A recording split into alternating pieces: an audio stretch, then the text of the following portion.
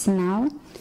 Ah, eu queria registrar a presença aqui do incrível, maravilhoso orientador Paulo Amarante.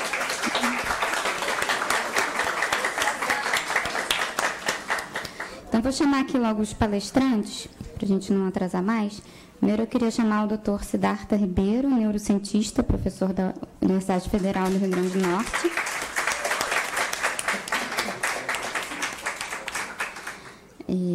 E, agora o doutor João Lacerda de Menezes, doutor em Biofísica e professor do FRJ.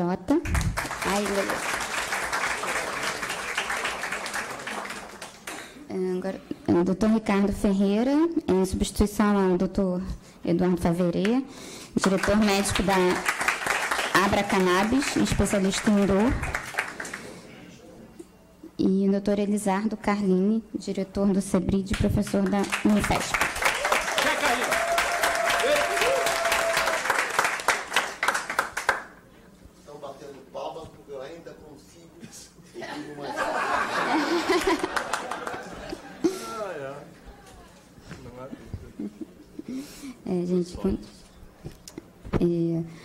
Primeiro eu queria dizer que essa, na verdade, esse ano na Emerge a gente já fez no, no Fórum de Direito e Saúde duas, duas palestras né, sobre o, a maconha medicinal, né, para a gente começar a debater esse tema. Primeiro a gente passou o filme Legal, teve a Margarete aqui né, como uma das debatedoras também, o Saulo de Carvalho, a Mariana Assis Brasil.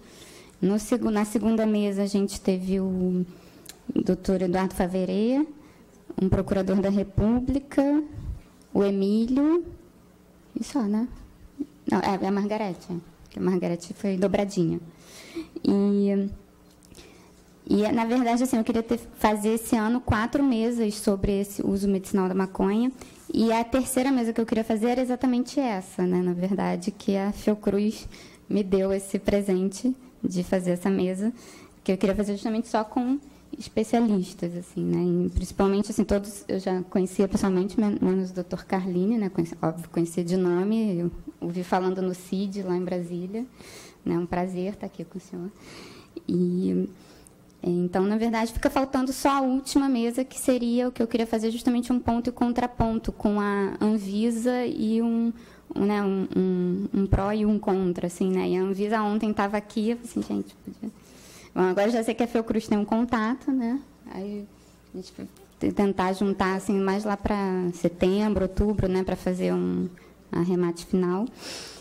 E bom, assim, de, de bom o dia hoje não tem nada, né? Porque ontem a gente teve um golpe, né, no Estado Democrático de Direito, né? Então, assim, a gente já começa meio triste hoje, porque mais a, a batalha foi perdida, mas não a guerra, né? Então, assim, e não, não tem nem palavras, assim, o retrocesso que isso representa né, para o Estado brasileiro, para essa classe já excluída né, dos, dos menores, e uh, encontrar uma forma de excluir mais. Se tivessem feito a matéria que eu fiz no Claves, né, sobre violência, conceito de violência, elaboração de políticas públicas, teriam aprendido que né, a idade não é a causa da criminalidade. Né, em qualquer política séria, 70%, né, basicamente, das, da causa da violência é desigualdade social. Então, assim, acho que para você é, combater a criminalidade, você tem que combater a causa, né, e não o que a idade, você pode até considerar uma motivação para que eventualmente o menor cometa um crime, mas motivação não é causa, e você só combate a criminalidade com causa, combatendo a causa. Então, é, dá vontade de mandar eles fazerem lá o cursinho de elaboração de políticas públicas. Mas a sorte é que emenda constitucional derivada pode ser declarada inconstitucional.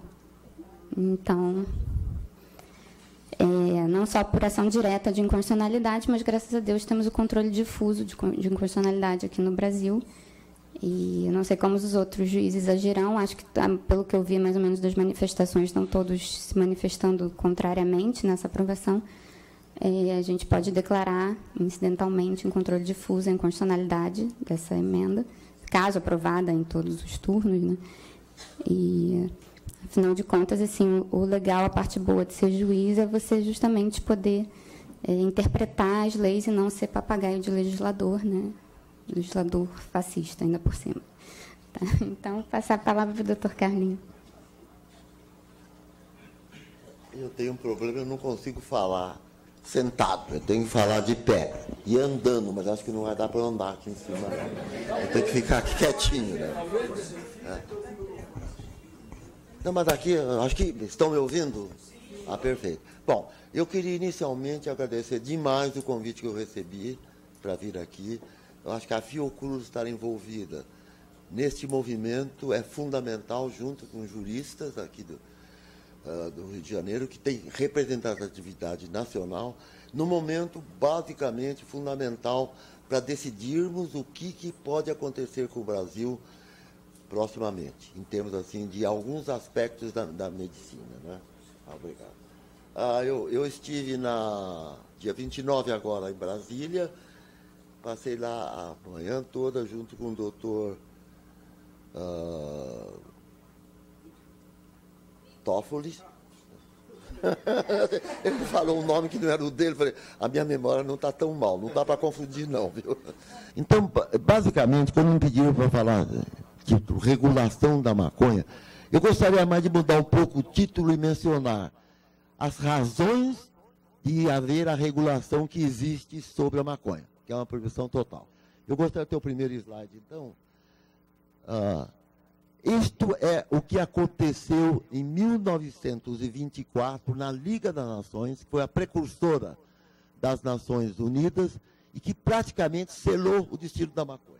O representante brasileiro, entre 40 e tantos países de todo o mundo da Liga das Nações, declara que a maconha é mais perigosa do que o ópio, no que ele é apoiado somente pelo representante do Egito e, portanto, a maconha ficou assim repentinamente olhada como algo diabólico, quando a reunião era para discutir só os problemas do ópio. Então ninguém sabe exatamente, porque este representante do governo brasileiro, representando o Brasil junto com mais 40 e poucos países, e em companhia do representante do, do, do Egito, faz uma declaração tão maluca quanto esta. Porque, em primeiro lugar, né, a maconha não é mais perigosa que o ópio. E no Brasil, o ópio nunca chegou a ser um problema de magnitude. O ópio nunca foi muito usado, a, no, a não ser no século XVII, quando era absolutamente livre. Próximo slide, por favor. Logo em seguida, surge uma figura mais importante, o Dr. Harry Anslinger. Ele era o, o diretor da DEA, Drug Enforcement Agency, a companhia, o, o segmento americano oficial do Estado que controlava as drogas no país como um todo. E ele investiu pesadamente com a maconha. Ele realmente passa, com a força dos Estados Unidos naquela época já, ele passa a combater a maconha e tentando influenciar o mundo todo. E por coincidência, ele era um dos sócios de uma fibra, de uma fibra não, de uma fábrica de fibras sintéticas para a produção de tecidos. E a, a, e a maconha ainda é considerada uma das melhores fibras para a produção de tecidos que existe. E ela era, evidentemente, a grande competidora das fibras sintéticas que estavam entrando no mercado. Então, seguramente havia um interesse comercial. Ele teria, no mínimo, um conflito de interesse para estar falando do jeito que estava falando da maconha. Próximo slide. Isso ganhou né, um algo bastante grande, porque até o século XIX a maconha era considerada um excelente medicamento. O que está dito ali, de um livro de medicina muito famoso do século XIX, a maconha é muito valiosa para o alívio da dor, particularmente daquela dor dependente de distúrbios nervosos. Já naquela época se sabia que o efeito analgésico da maconha não era para uma dor de dente, não era para uma cólera, mas era para dores neuropáticas e dores miopáticas. Isso século XIX, gente. Século XXI, nós sabemos hoje que realmente a maconha é um excelente medicamento, por exemplo, para esclerose múltipla. Para uh, neuropatias, como eu que tive, aliás, é curioso, porque eu tive muita neuropatia, porque eu sou diabético há bastante tempo, e o diabético acaba tendo, tendo uma neuropatia uh, que, que, é muito incomodativa. Né? E eu podia ter tomado maconha, eu não tomei de medo. Sabe por que eu não tomei de medo? Porque eu tinha medo, você imagina, o Carline comprar na bocada um pedaço de maconha. é, é maconheiro, é por isso que ele fala a favor da maconha medicinal. Então, eu peguei um medicamento original, sintético, de um governo, de um laboratório, laboratório tal, vou até dar o nome, é lírica, que é quase larica, né? A palavra de termo. Bom, não me deu mais apetite, a tal do lírica, mas me deu alucinação que eu nunca tive igual na vida. Eu falei, gente, eu gasto um dinheirão para tomar esse medicamento que não fez bom efeito. Se eu tivesse fumado um cigarro de maconha, do ponto de vista médico e não recreativo, que eu estou falando aqui, eu teria tido seguramente um alívio melhor da sintomatologia que tinha. E, e não tive larica, eu gostaria de comer um pouco mais, que na época eu estava meio magro, e além do mais, eu tive alucinações que foram muito desagradáveis para mim. Então, mostrando como é que é, está a medicina nos dias de hoje e como é que está a lei que me impediu naquela época de comprar maconha porque eu tinha medo de ser chamado de maconheiro. Né? Próximo slide, por favor. Bom, mas pegou o que foi dito lá pelo brasileiro, que a, Liga das Nações passou para as Nações Unidas, mais tarde a Liga das Nações Unidas, uh, pega, e o governo egípcio, que já tinha mandado aquele elemento para lá, declara em 1944 esta frase no seu relatório anual, que ganhou o mundo todo. Cannabis é uma droga totalmente eh, viciante, merecendo o ódio dos povos civilizados. E a maconha foi realmente satanizada, vilipendiada, parte do demo, né? uma coisa dessa ordem assim. Próximo slide, por favor. E em 1961, fim da Segunda Guerra, reestrutura-se todas as organizações, em 1961, a ONU, então, faz a sua primeira convenção. E vejam o que fez a ONU. Né? Primeiro, coloca na Convenção de 61, era a única convenção que existia, mas era a convenção sobre drogas narcóticas. E a maconha não é um narcótico, é um analgésico não narcótico. Né? Isso é claro né, para os farmacologistas. Segundo lugar, a próxima slide, por favor. O que a maconha, o que a ONU fala, 1961, coloca a maconha na lista 1 dessa convenção sobre narcóticos e na lista 4. A lista 4 foi o exagero os exageros. A ONU selecionou, então, quais eram as drogas que achavam perigosas e coloca na lista 4. Coloca a heroína, algumas outras drogas e a maconha. Por quê? Medidas especiais de controle para as propriedades particularmente perigosas dessas drogas. Então, a maconha ficou oficialmente no mundo classificado em 61 como uma droga particularmente perigosa. Né? E nós sabemos que história é esta que eu contei para vocês do passado. Né? Mas, graças a Deus, o mundo evoluiu, a ciência progrediu. Hoje, todos nós sabemos que nós temos uma maconha interna chamada anandamida, temos receptores para receber, então, as substâncias ativas que são produzidas para aquela planta. O nosso cérebro também produz algumas substâncias que agem nesses mesmos receptores. Já isolamos, sabemos quais são a estrutura química desses receptores. Já clonamos esses receptores. São os receptores cerebrais, talvez mais abundantes do cérebro humano, claramente dando uma função que não tem nada de diabólica para a maconha. Próximo slide, por favor. Bom, o brasileiro, o cientista brasileiro, na, na sua, no seu pouco poder, não ficou isoladamente nesse aspecto, ele participou. Eu só cito aqui algumas instituições, eu esqueci outra, mas eu quero situar a, a Unicamp, porque o Toffoli, é o, o Toffoli é, é psiquiatra que se fez e se faz como antigamente. Porque aquele psiquiatra que não se faz mais como antigamente nós fazíamos, não é o grupo que eu quero falar de psiquiatra daquele. Eu sou professor da Escola Paulista de Medicina, é, mais da parte de psicofarmacologia. Mas então, olha, podemos citar aqui a Escola Paulista de Medicina, através do professor Ribeiro do Vale, em 1940, ele começa a estudar cientificamente a maconha, da qual, do qual eu herdei esse interesse. E o Ribeiro do Vale, naquela época, disse uma frase que é fundamental. Nós estudamos a maconha que o homem usa. Isto é um erro. Nós temos que estudar o homem que usa maconha. Porque o problema é o homem, não é a droga, não é a planta. Se nós entendermos por que o homem usa, nós vamos saber por que, né?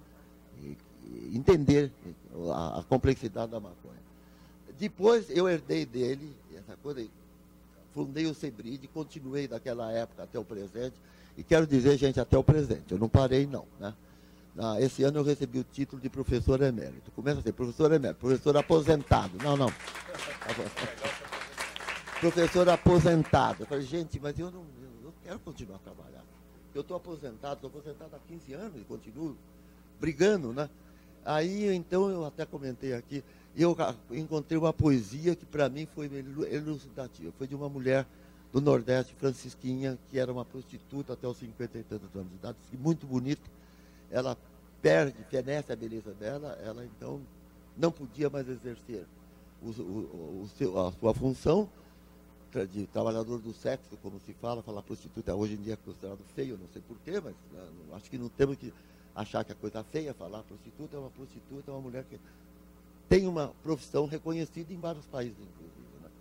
Mas ela analfabeta, ela inicia a sua alfabetização, ela, os, aos 66 anos, 66, ela fica totalmente alfabetizada e ela vira uma poetisa. E uma poetisa que eu acho pouca gente conhece e respeita no Brasil, porque ela é desconhecida. E ela fez uma poesia chamada assim, Eu Sou.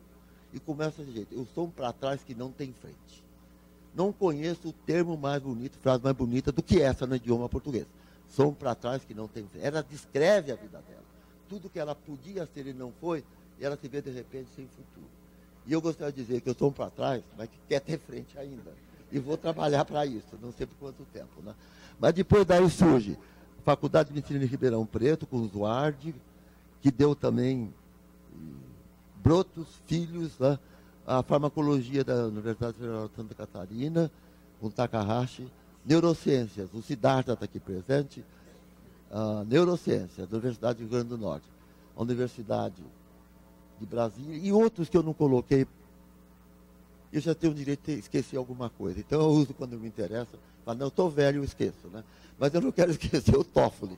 Porque ele é, é como eu disse, ele tá, entrou para valer na briga, percebe-se isso claramente. A Unicamp realmente é um reforço importante. Eu espero que depois se me derem os nomes do que trabalharam, tal, eu quero fazer essa lista muito maior. Próximo slide, por favor. Bom, a primeira tentativa que eu fiz, eu morei cinco anos nos Estados Unidos, quando eu voltei, eu quis então falar, mas vamos falar um pouco mais sobre maconha. Né? A primeira tentativa foi quando eu fui nomeado secretário nacional da Vigilância Sanitária, com o ministro Jatene, né? junto com o presidente do CONFEM, Conselho Federal Entorpecentes, nós pensamos em criar um, um, um simpósio para falar sobre a maconha medicinal.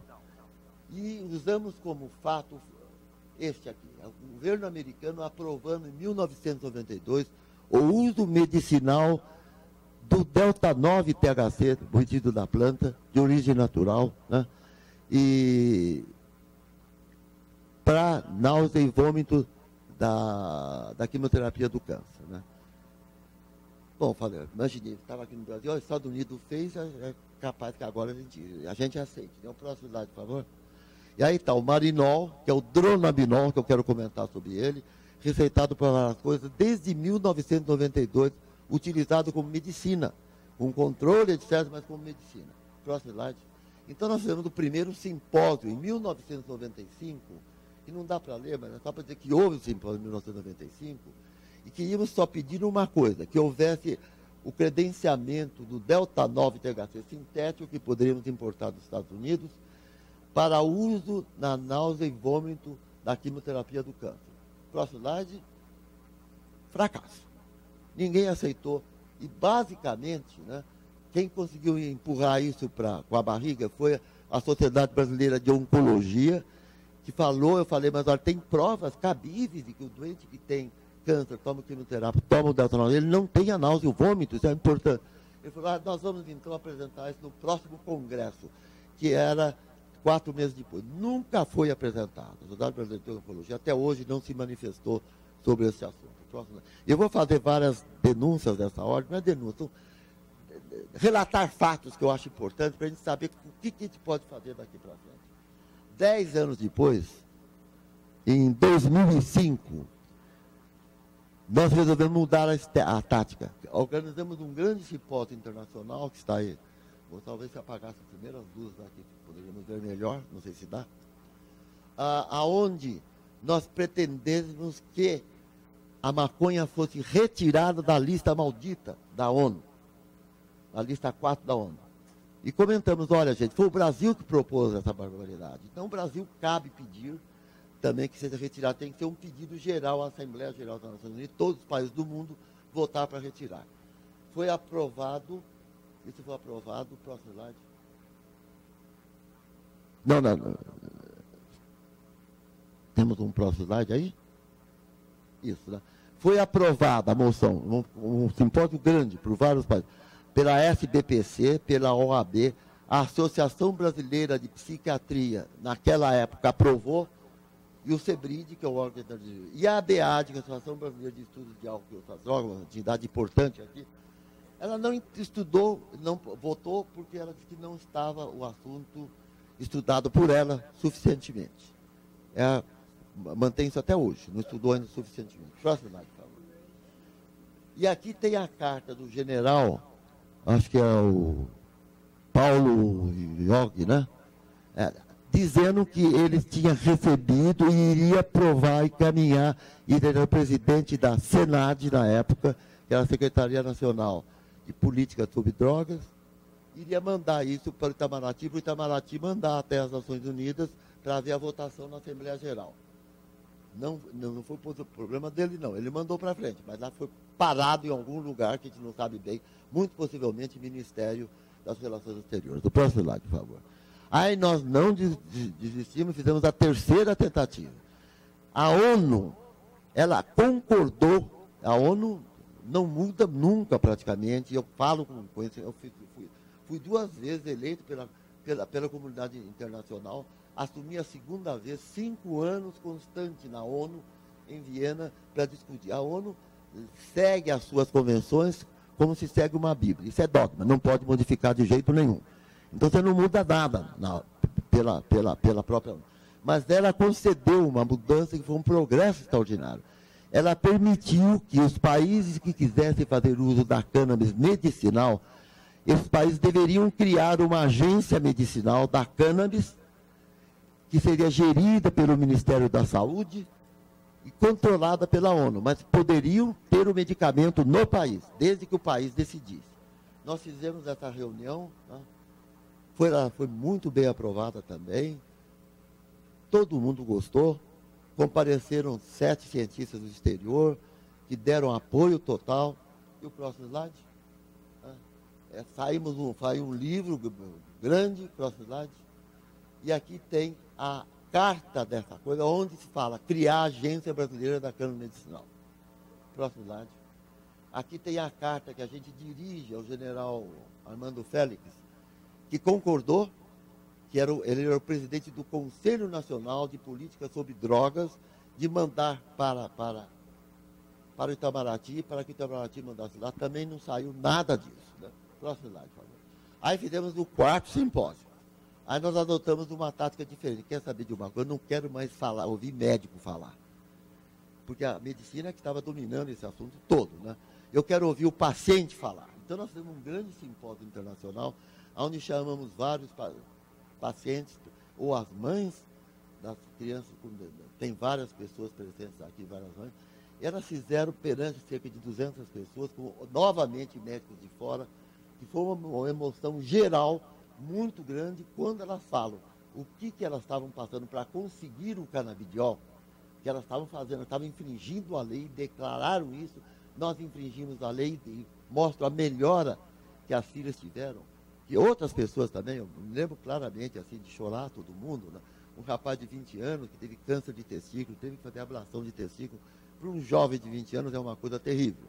Ele passa a usar a quimioterapia do câncer e ele não consegue suportar o vômito. E ele confessa, e, ele contando que ele falou para a mãe, mamãe, eu vou morrer, eu vou morrer de não comer, porque eu não consigo comer nada, é a minha decisão. Até que o irmão dele chega e fala, mano, toma, fuma esse cigarro. Ele fumou e ele conta isso, foi quando todo mundo ficou muito. Ele chega uma hora, duas horas depois, chega, mãe, me faz uma canja de galinha que eu quero comer a canja de galinha. E aí ele falou, a mamãe não pôde fazer isso, porque ela não parava de chorar, de emoção de ver, né? Então pediu para a irmã fazer a canja, ele tomou a canja. Eu tomei com muito apetite, vomitei tudo de novo.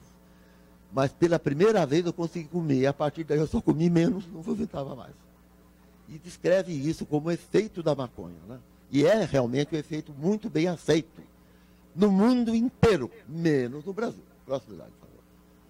Bom, a, mas a emoção, muita gente chorava, inclusive o médico do Canadá ele ficou numa emoção incrível. Lá no Canadá se prescreve produtos à base de maconha. Ele comenta, e estava presente o vice-presidente do Conselho Regional de Medicina de São Paulo. Eu não sei quanto tempo eu vou falar, mas eu tenho, é mais ou menos 30 minutos cada um, né? Dá para falar? Tá bom. Então, olha, estava o presidente, ele chegou, falou para todo mundo, falou, o Conselho Regional de Medicina não pode ficar ausente ao que nós ouvimos. E veja, eles ouviram o paciente, ouviram as queixas da população, não ouviram os médicos, porque nós deixamos muito médico falar não. Né? Ah, e aí o que aconteceu? Alguns dias depois, o CREMESP manda publicar sua resolução desafiando o Conselho Federal de Medicina, que teria que partir do Conselho Federal de Medicina, e simplesmente estabelece que agora se pode, o médico pode prescrever, pelo Conselho Federal de Medicina, o médico é proibido por lei. Ele pode ir para a cadeia ele prescrever. E o Conselho Federal de Medicina já ameaçou publicamente num dos simpósios. Não, não, não, é, não foi essa ameaça, mas nós fazemos advertência e suspendemos. Está né, tá num dos livros. Próximo slide, por favor. Logo em seguida, o Conselho Federal de Medicina teve que entender que ele tinha que fazer isso. E o próximo slide. E sete, oito meses depois, na sua rapidez fulminante de sempre, a Anvisa permitiu que houvesse a importação.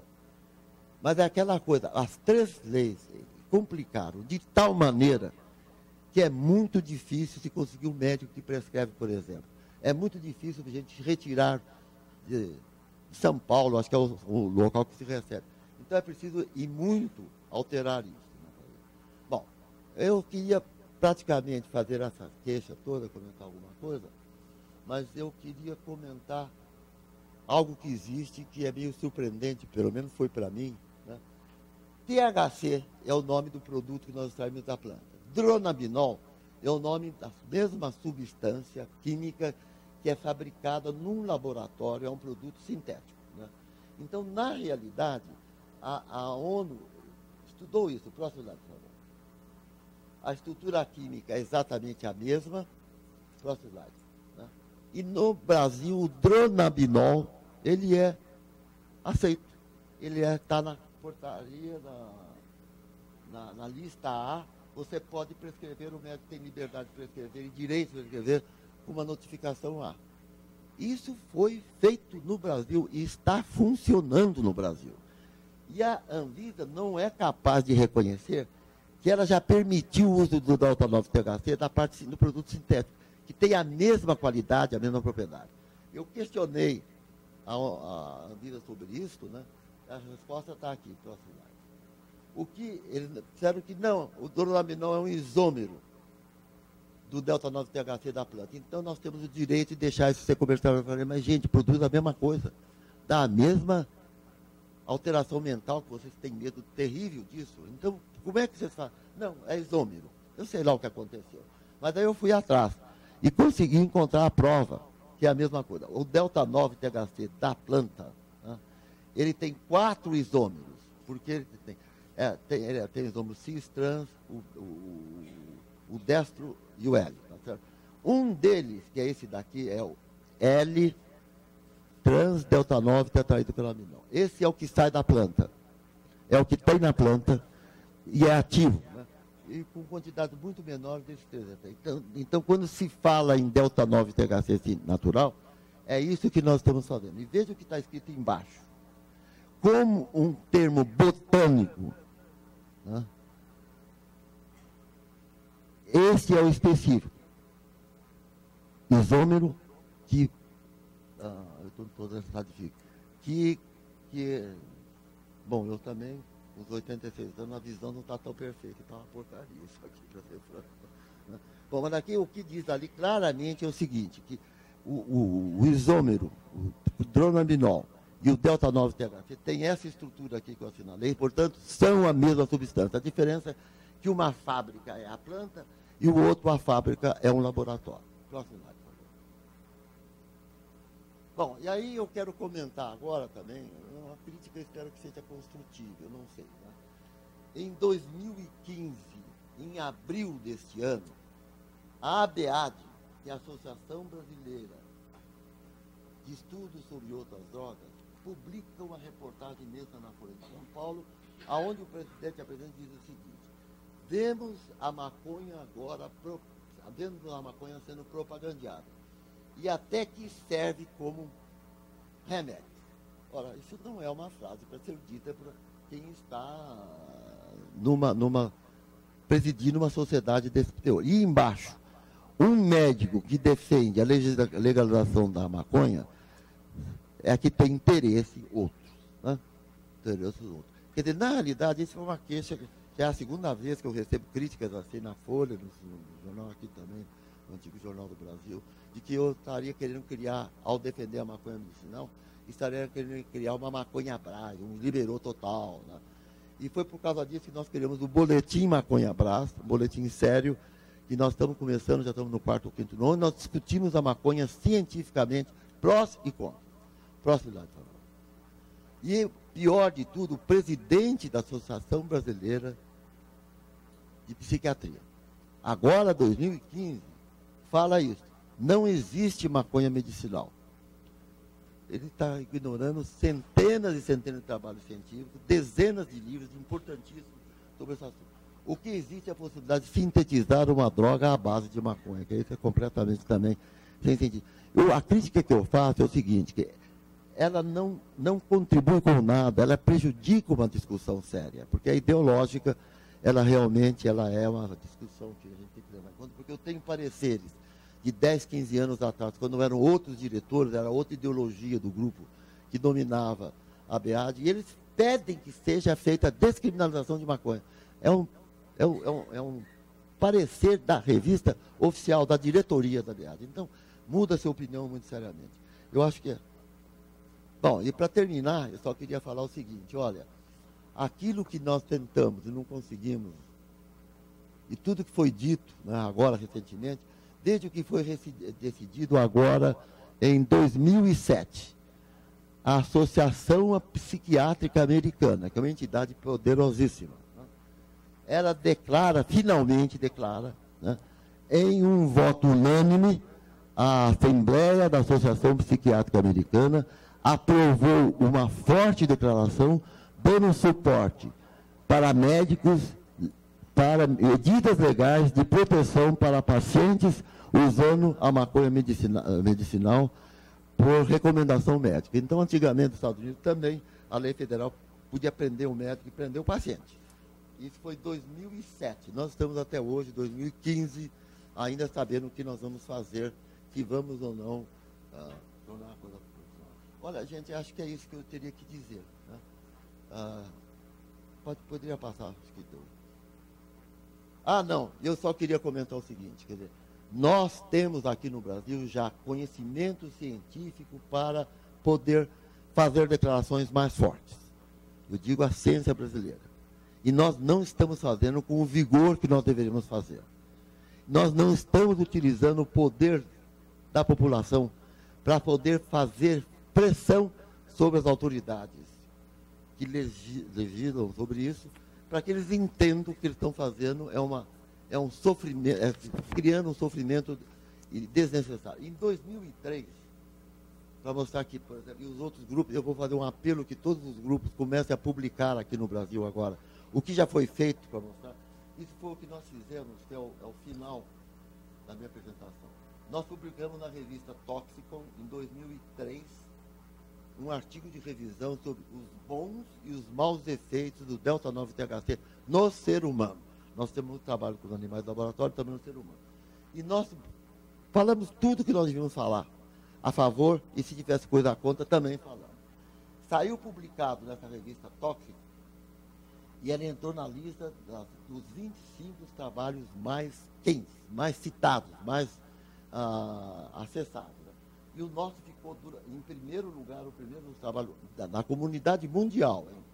mais acessado e mais comentado durante quase um ano. Gente, não é para o Brasil estar tá desse jeito.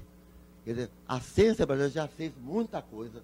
E é a hora que realmente a gente começa a forçar os direitos que nós temos. Para que, que serve o nosso trabalho científico? Para nada?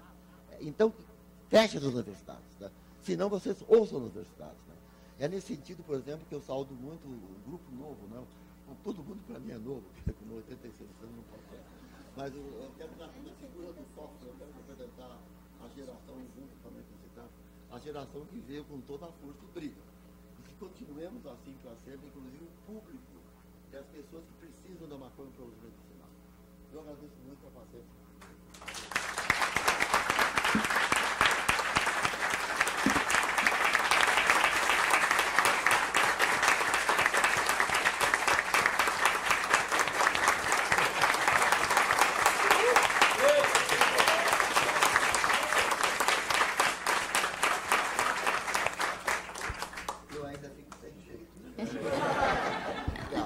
Muito obrigado pela sua simpatia, tá? Obrigada a você, professor Carlinho. É, queria che quero chegar aos 86 anos com esse vigor todo, assim, é, essa disposição. Eu, eu, olha, a velha tem direito de falar um pouco demais, né? Não, não tem direito, é É. Eu, por exemplo, não sofro de doença nenhuma. Eu sofro de velhice. E tudo é normal em mim. Então, estou diabético, é normal. Tenho hiperplasia de próstata, é normal Estou com degeneração da mácula desse olho, é normal. Estou surdo, tenho que usar o aparelho para ouvir, que custa um caro para burro e nem sempre funciona bem. Mas eu, sou, eu, me, eu me considero feliz de poder estar tá convivendo com a população, não ter entregue os pontos ainda. Por quanto tempo, eu não sei. Até os 100 anos eu ainda espero. Depois já não vai dar Depois é Bom, então pode ser você agora, João? Pode ser, pode ser. Pode ser. Então, passar agora a palavra para o aniversariante do dia. Vamos lá.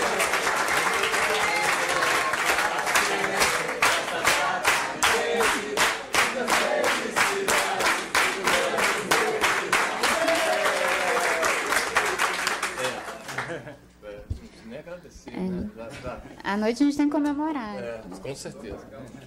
Pagar o show. Não precisa agradecer, é só pagar, né? Hã? Rumo aos 100, rumo aos 100. Rumo aos 86 eu já ia ficar bem feliz. Daquele jeito ali. É, será que eu faço? Eu também sou que nem ele, né? Eu gosto de ficar de pé, mas vou tentar. Qualquer coisa, eu tenho um microfone aqui, né? É... Uau. Calma. É, ainda estou sob efeito é, né? O, o, o, da, é isso. É, não é fácil, né? É, você me avisa com 15, porque é, ele ele é, ele está para 20 mais ou menos, mas com, talvez fale demais. Às vezes eu me distrai, tá? Tá bom, é, eu também. Eu tenho ali, ali dá para ver também. Eu também me distraio, né? O, para mim, é, eu vou tentar dar uma contribuição é, não prática, mas quase filosófica de como eu acho que tem que ser a regulamentação. Né? Mas o, o, o, no desenho é parecido com o Carline, no sentido de que o mais importante é entender que uh, não existe maconha medicinal sob a proibição. É um arremedo do que ela é sob a proibição. Então, o primeiro problema é entender a proibição. Agora, o que realmente é presente de aniversário para mim, esse assunto tem muito a ver com minha escolha de vida, é, de ir para ciências básicas. É, é, então, isso é um negócio muito que tem, me acompanha há 30 anos, sei lá, é, 30 anos, 30 e tantos anos, é, é, que foi determinante, na verdade, que é, como aluno de medicina, eu não confiei nas ferramentas médicas para que eu pudesse ter a vida de alguém sob a minha responsabilidade, com as ferramentas que estavam me ensinando na universidade. É, eu via, por causa que gostava muito de ciências, é, a, da biologia, de, e aprendi o método, sei suas limitações. Então, quando alguém diz, ah, essa é uma medicina científica, eu digo, essa eu não vou fazer. Não quero virar grupo controle Isso é que é uma medicina científica, tem grupo controle. Medicina é arte, medicina é o desenvolvimento, a, a, a ter essas ferramentas em cima de um contato que, graças a Deus, não é científico. E, e, e quando e isso, isso, atrapalha, atrapalha porque dá um poder enorme que o método científico é fabuloso. Então, exatamente isso. Eu, eu, eu adorei o método científico. Eu, realmente, ele produz um, uma visão, muitas vezes, é, fracionada, é, com limitações, mas também muito poderosa. Tipo, poderosa o suficiente para mandar a gente com a Lua. Com bastante dinheiro fica algo de fabuloso. É um método que eu falei, eu gostei do método, mas para trabalhar com os seres humanos, não sei. Por quê? Né? Assim, é, eu ficava impressionado como as pessoas têm pouca noção de como é que a ciência se desenrola. A ciência é um processo que não para. Então, aí o, o, o, grau de complexidade do que se a gente se arvora né, a, a tentar é muito longe do que esse método consegue resolver né, tanto que eu fui para. Tanto, tanto ciência que eu fui onde eu achei que ia fazer um maior efeito. Na ciência básica, onde eu posso controlar tudo no laboratório, onde o método pode ser bem aplicado. Eu ficava impressionado como as pessoas não viam a limitação. Os meus colegas, eu aqui tenho esse exemplo aqui, que tem vários. Mas eu escolhi esse porque eu gosto muito desse, porque ele é bem parecido é, com o. É a bolinha de dentro? Não. É esse aqui, já vi é bem parecido com o problema da maconha. Numa escala um pouquinho menor, mas essencialmente muito parecido. Que é o caso da margarina. Né, eu fiz a universidade em 1980. Então, olha lá o, o, o Deixa eu ver se eu carrego para lá. Ver se eu ando ali.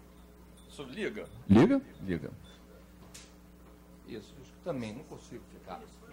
Isso. Ah, ah, se a gente vê, eu estava aqui, né? Ó, 1980 aqui é manteiga, consumo, aqui é margarina, consumo. Né?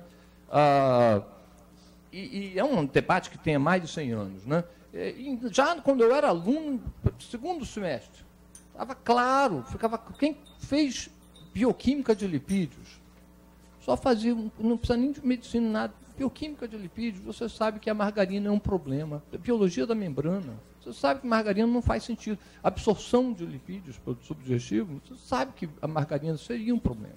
Né? E ah, ah, o que impressiona é que, que isso na mídia, que isso na população em geral, é, as pessoas aceitarem usar margarina por causa que é, se mostrou em algum momento que gorduras saturadas poderiam dar problema cardíaco, e já que a, a margarina é uma gordura insaturada, né, só que sólida, por ser artificial, as insaturadas, os poliinsaturados são geralmente líquidas à temperatura ambiente, né? Ah, tinha essa vantagem de, de, substituir a manteiga e parecia boa, não ia dar colesterol, não ia dar ah, os problemas que a gordura saturada ocasiona, né? como fonte de colesterol, uma delas. Né? Ah, e o que me impressiona, que, tudo bem que as pessoas entendessem assim, ah, é, o galo cantou ali, né? né? Agora, que médicos então, isso aqui é uma propaganda na revista é, médica JAMA, né? Journal American Medical Association, super poderosa, com um anúncio de, de, de Flashman de 1970. Você repara como muda, né? que os médicos passam a apoiar a margarina. Passam a apoiar a margarina. Sendo que a, já na década de 50, 60, 70, 80, muita evidência contra a margarina. Foi só na década de 90 que um, um, um, um, relatório epidemiológico que mostrou que 40%, que aumentava o risco de doença cardíaca em 40%. E aí vários outros, aí você vê a margarina caindo de novo aqui. Agora tem os interesterificados, que é outro problema. A queda também de, de, consumo de gordura global, né, tanto de manteiga como margarina, também é outro evento, também a ciência entra, é, quando ela entra, como é que é mesmo aquela expressão? É, é, ignorância explícita, às vezes, meio conhecimento é pior do que ignorância. Meio conhecimento é pior. O, o, o caso é uma coisa semelhante, né, porque o que, que, que tem nesse gráfico aqui e nisso daqui? Tem interesse comercial, tem preconceito, tem, tem tudo isso influencia para o médico. Ora, o médico imparcial, ele sofre todas as influências. Então, esse é um exemplinho. Então, mesma época, você vê que é um período em que o, a força do mercado financeiro domina nós todos. Todas as nossas opções, tudo, é maconha principalmente, né, que foi proibida ah, com interesses claramente racistas e comerciais.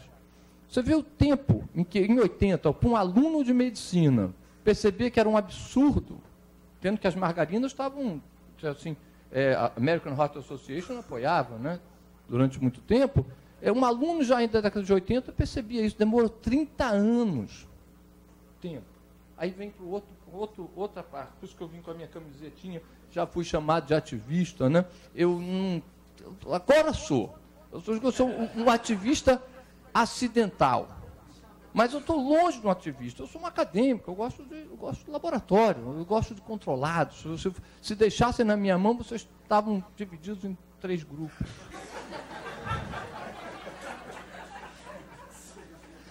E o que eu aprendi com, com os meus colegas ativistas, uma coisa muito diferente, que eu não tenho.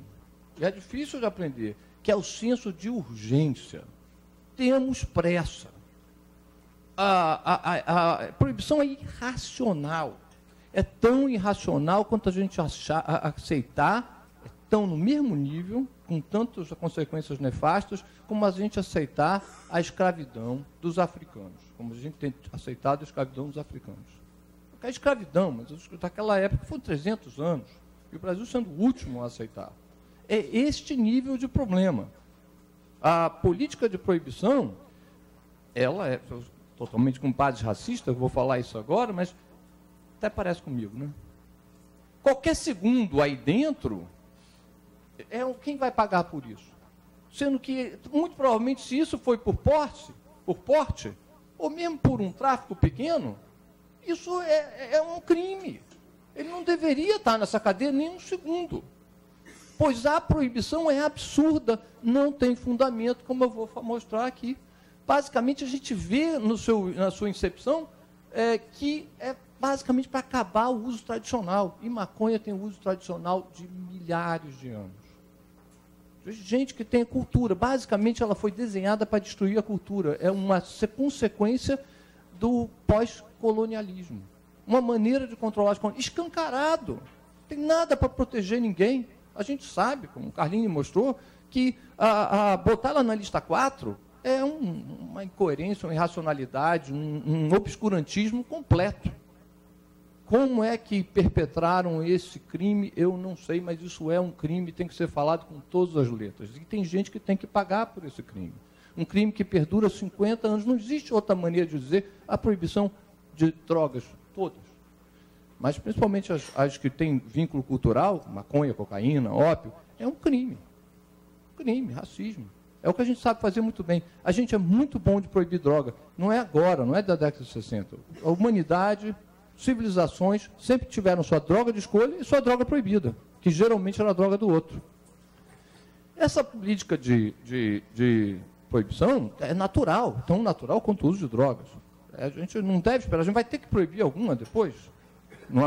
Basicamente, proibição da maconha agora é uma política abjeta é, de uma política de, de uh, com qual os líderes é, são senhores de escravos, nações senhores de escravos. O que eu, que eu saiba, o Brasil deixou de ser governado por senhores de escravos, não é verdade?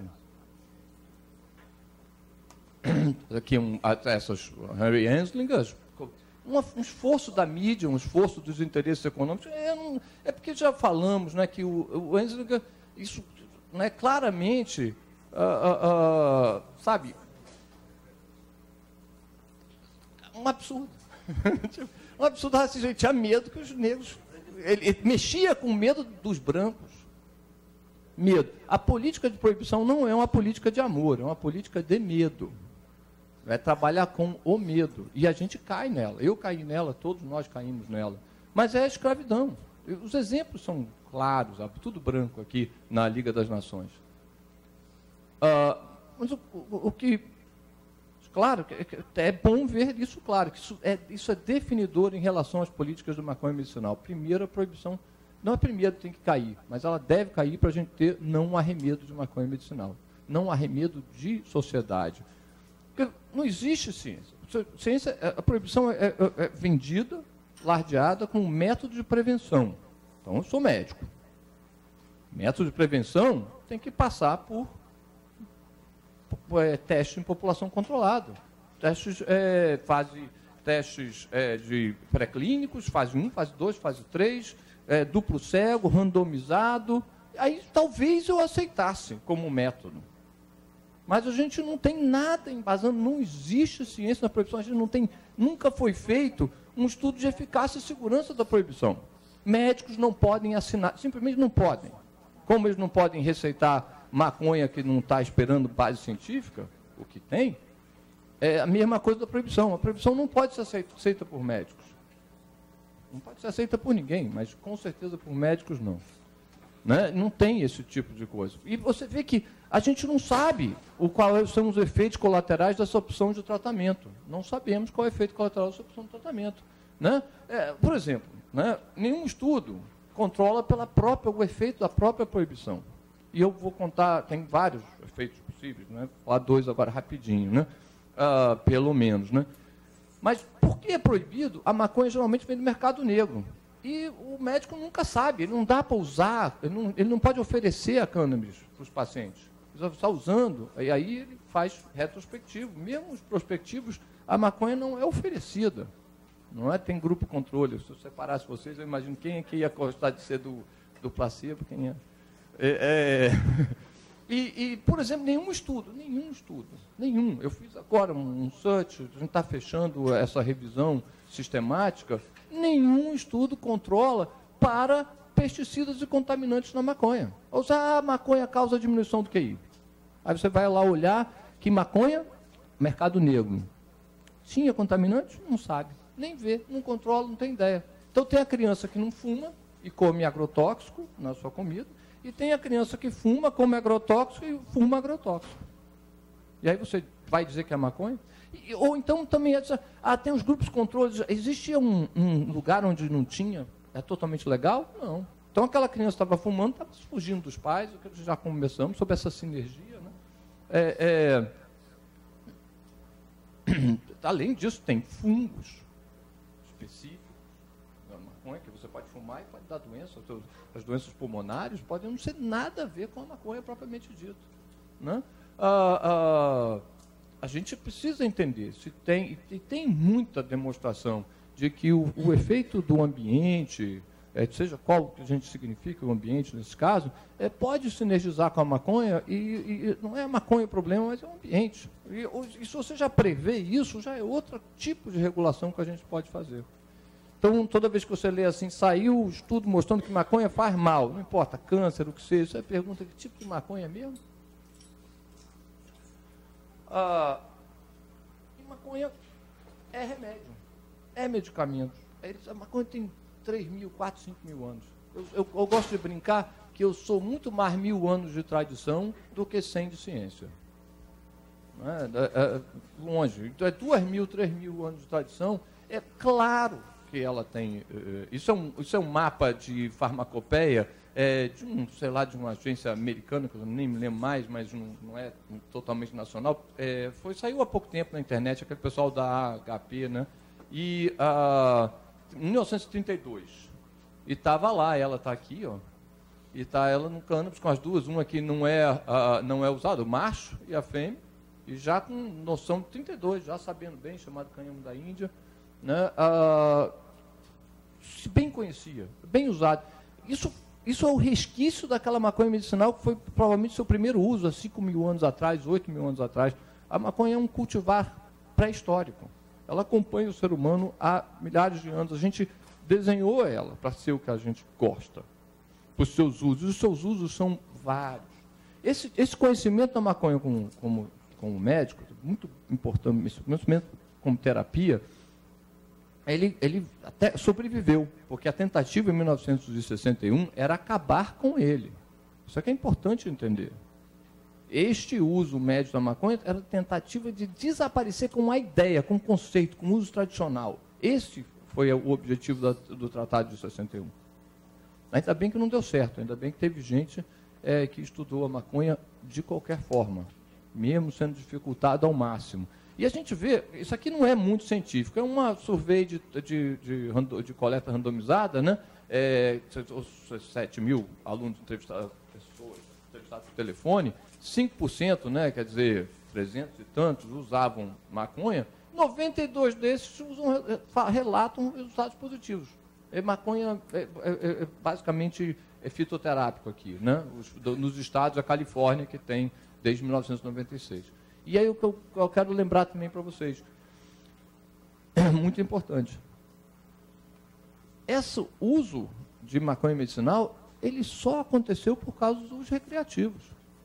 Só.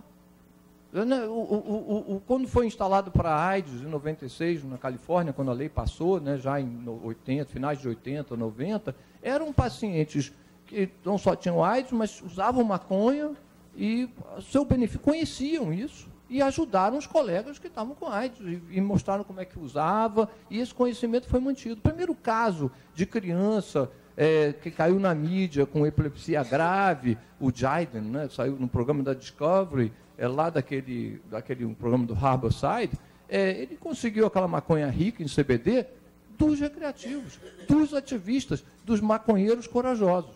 Se não fossem esses maconheiros corajosos botando a cara, o risco a manter essa cultura, não teríamos, porque médico já não ia, estava proibido fazer. Médico já não ia conseguir fazer. Não tem essa coisa de maconha medicinal recreativa. Isso é muito importante para essa minha uh, sugestão a seguir. A gente sabe que é, a gente sabe que é seguro.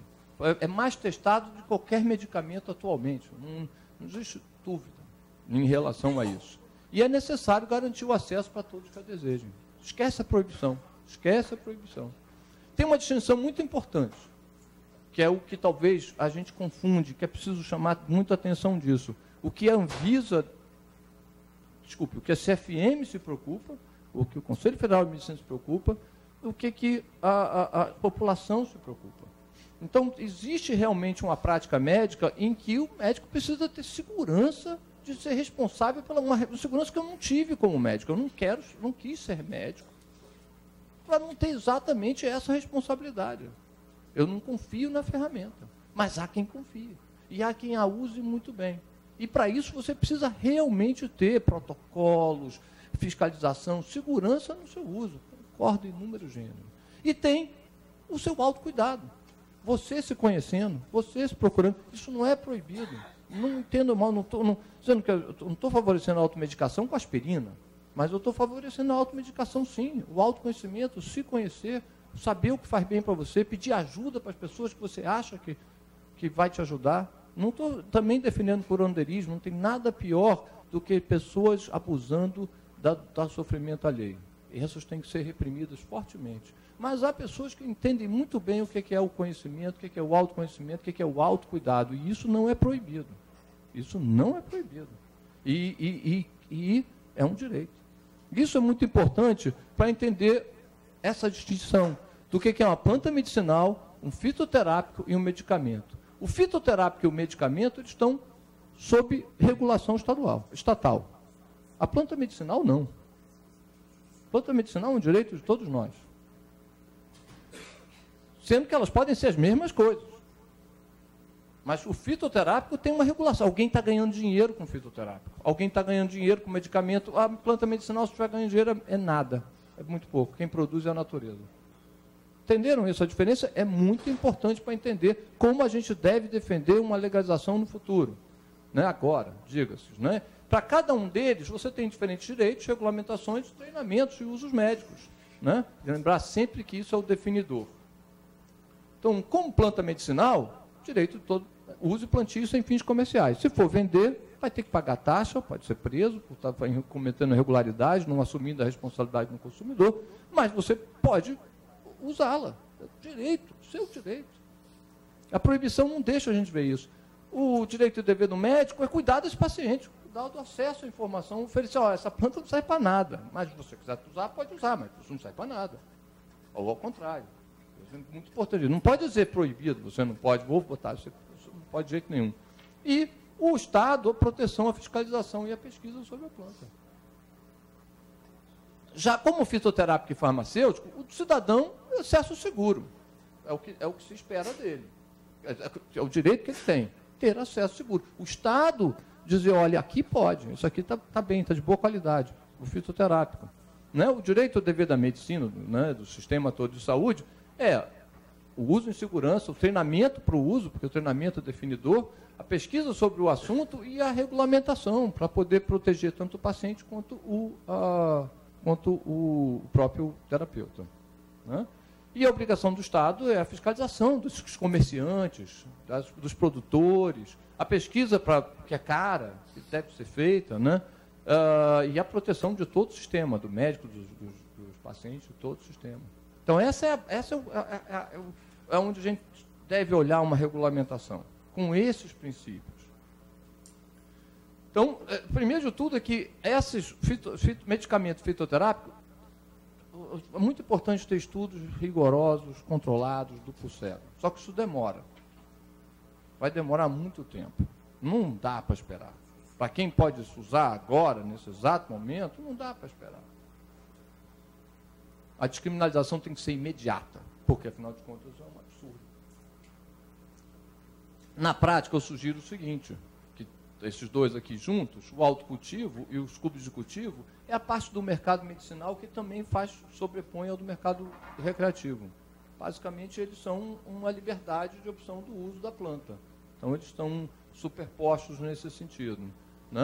Ah, então, os clubes de cultivo, eu não vou explicar, talvez possa explicar, vocês viram já ao longo, já teve alguma explicação dos cultivos, vai ter mais o que é um clube de cultivo, mas basicamente é aquele paciente que precisa todo dia. Né? E ah, por exemplo, uso crônico, não quer comprar um remédio, prefere produzir, prefere saber quem produziu, prefere uma relação que faz parte da terapia. Tem gente que não quer isso, tem gente que quer a pílula na farmácia, mas tem gente que também produz. E isso não tem que ser proibido, porque foi proibido por motivos absurdos. Né? E, ah, sim, pode ou não ter o acompanhamento. Preferencialmente é sempre bom ter um médico que sabe tudo sobre a planta. Então, esse era o, é isso. E é, é importante que a gente já sabe que tem uso. Então é um direito você ter acesso a esses extratos. Não dá para esperar a, a, a, os pesquisadores produzirem uma coisa aperfeiçoada. A gente não precisa esperar o aperfeiçoado, a gente não precisa esperar isso. O, seria, um, existe um, um, uma, uma, uma, indústria que vai uh, envolver em volta, não importa que tipo de legalização capitalista, socialista, que a gente vai arrumar, vai ter várias coisas novas para sustentar isso. Uma delas, por exemplo, é o laboratório de análise fitoquímica, que testa o controle de qualidade, saber se aquele clube de cultivo é de qualidade ou não, se, né, tanto para a empresa como para o clube de cultivo sem fins lucrativos, quanto o autocultivo. Ele vai pegar uma parte e pedir para o laboratório examinar. Isso é um direito de saber o que está saindo, você está plantando, será que o senhor está contaminado, será que está qualidade? Então, isso vai ser um mercado. Pode ser privado ou público. Não precisamos esperar por isso, mas vai acontecer. Né? Essa também é fundamental. Meus colegas não sabem nada sobre maconha, básica. É impressionante. Foi escondido, não sabem nada, nada. Né? Chega a ser risível. É, é quase uma surpresa. 30 anos atrasados. É um negócio enlouquecedor. A proibição realmente é. é, é e, e, usar maconha tem vários detalhes, vários detalhes, vários. E, que, e essa cultura a gente perdeu. Essa cultura de dois mil, três mil anos atrás, ela talvez tenha sido perdida. O que sobrou, a gente ainda tem muito que redescobrir, muito que redescobrir. Vocês sabem que tem formas, por exemplo, a forma mais comum uso tradicional de maconha é o bang, na Índia. Eu nunca sei falar direito, bang, né? que é um chá, é um chá com leite. Tem leite para dissolver os canabinoides que são lipossolúveis. E é esquentado a 80 graus, porque leite ferve rápido. Né? Mas geralmente ferve a água 100 graus no máximo. Se os canabinoides ativam completamente com 150 graus. Vocês sabiam que os canabinoides têm que ser ativados por calor? Isso é um processo de decarboxilação. O efeito cognitivo, com certeza, é essencial de serem decarboxilados, esquentados a mais de 150 graus centígrados. É, é, é, mais ele evapora. Ali ele decarboxila, decarboxila. E aí ele tem sua forma ativada. Ou seja, maconha sem esquentar, não dá onda. Agora, é anti-inflamatório. É, pode ser anticonvulsivante. Pode ser várias coisas. As formas ácidas dos canabinoides têm uso médico. Porque quando você faz o banga, é que é o uso mais comum, você ativa parcial, Para você fazer uma, uma, uma, um chazinho que dá muita onda, você tem primeiro que secar a planta no forno a 150 graus. Aí você joga água quente, depois joga o leite, ou joga o leite, depois água quente, faz um chá. Né? Então, o que, que acontece? Pode ser folha molhada. Molhada também. Cozinha, esquenta, né? Agora, pode ser seca também. Ele tem diferentes níveis de atividade THC. Ou seja, dá uma onda muito leve e tem um efeito terapêutico que a gente ainda não sabe. Sabemos que o THCA, todas as formas ácidas, têm algum efeito. Não é só o cognitivo. Cognitivo só se esquentar. Bacana isso? Isso. Quantos médicos sabem? Aqui, né, é, é, a gente ainda está tentando entender, apesar disso ser. Os ativistas sabem. Muitos conhecem. Mais do que qualquer dos médicos que ficaram à revelia disso. Então, é, vai ser muito importante esse treinamento. O, aqui, ó, essa é a parte em que você tem que. Vai ter um mercado gigante. Mercado potencial 2 milhões de pessoas no Brasil, no mínimo. Mas sim basal, porque 2 milhões usa no recreativo, né? 2, 3 milhões usa no recreativo. Talvez um pouco mais, talvez um pouco menos. E você bota mais 2 milhões, pelo menos, no uso médico. No mínimo, assim, basal. Então você vai precisar de todo uma, um, um, um suporte industrial e tanto para as flores e extratos de qualidade farmacêutica, como os produtos de pílula. Então, existe maconha de grau farmacêutico já, de composição conhecida de canabinoides livre de contaminantes, com diferentes métodos de administração oral, é, como é que é? supositório, spray, as, as, são múltiplas as vias para uso, múltiplas. E isso, como fitoterápico, a gente não precisa de muita pesquisa. Já estão muitos feitos. Qualquer aceitaria fácil. Porque teste de segurança já foi, teste de eficácia já foi. Talvez um off-label. Ou seja, foi testada para esclerose múltipla, você usa para Parkinson. Tudo bem, porque já está testado. Fitoterápico tem todas as regulamentações que podem ter igual remédio, mas não precisam ser tantas quanto. Não precisa fazer 3 trilhões de pessoas. Apesar de ela continuar com teste de segurança ao longo. Então seria relativa facilidade, poderia ou não ter lojas especializadas ou farmácia de manipulação mesmo. E os fornecedores teriam que ser, vou acelerar, teriam que ser fiscalizados, regulamentados, e a prescrição médica, obviamente, deveria ser obrigatória, diferente dos outros dois jeitos lá. Né?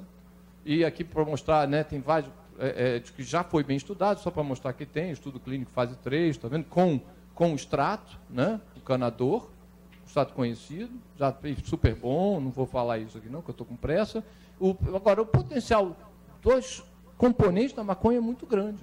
Essa é uma revisão é, da ISO 2010, do Trends of Pharmacology.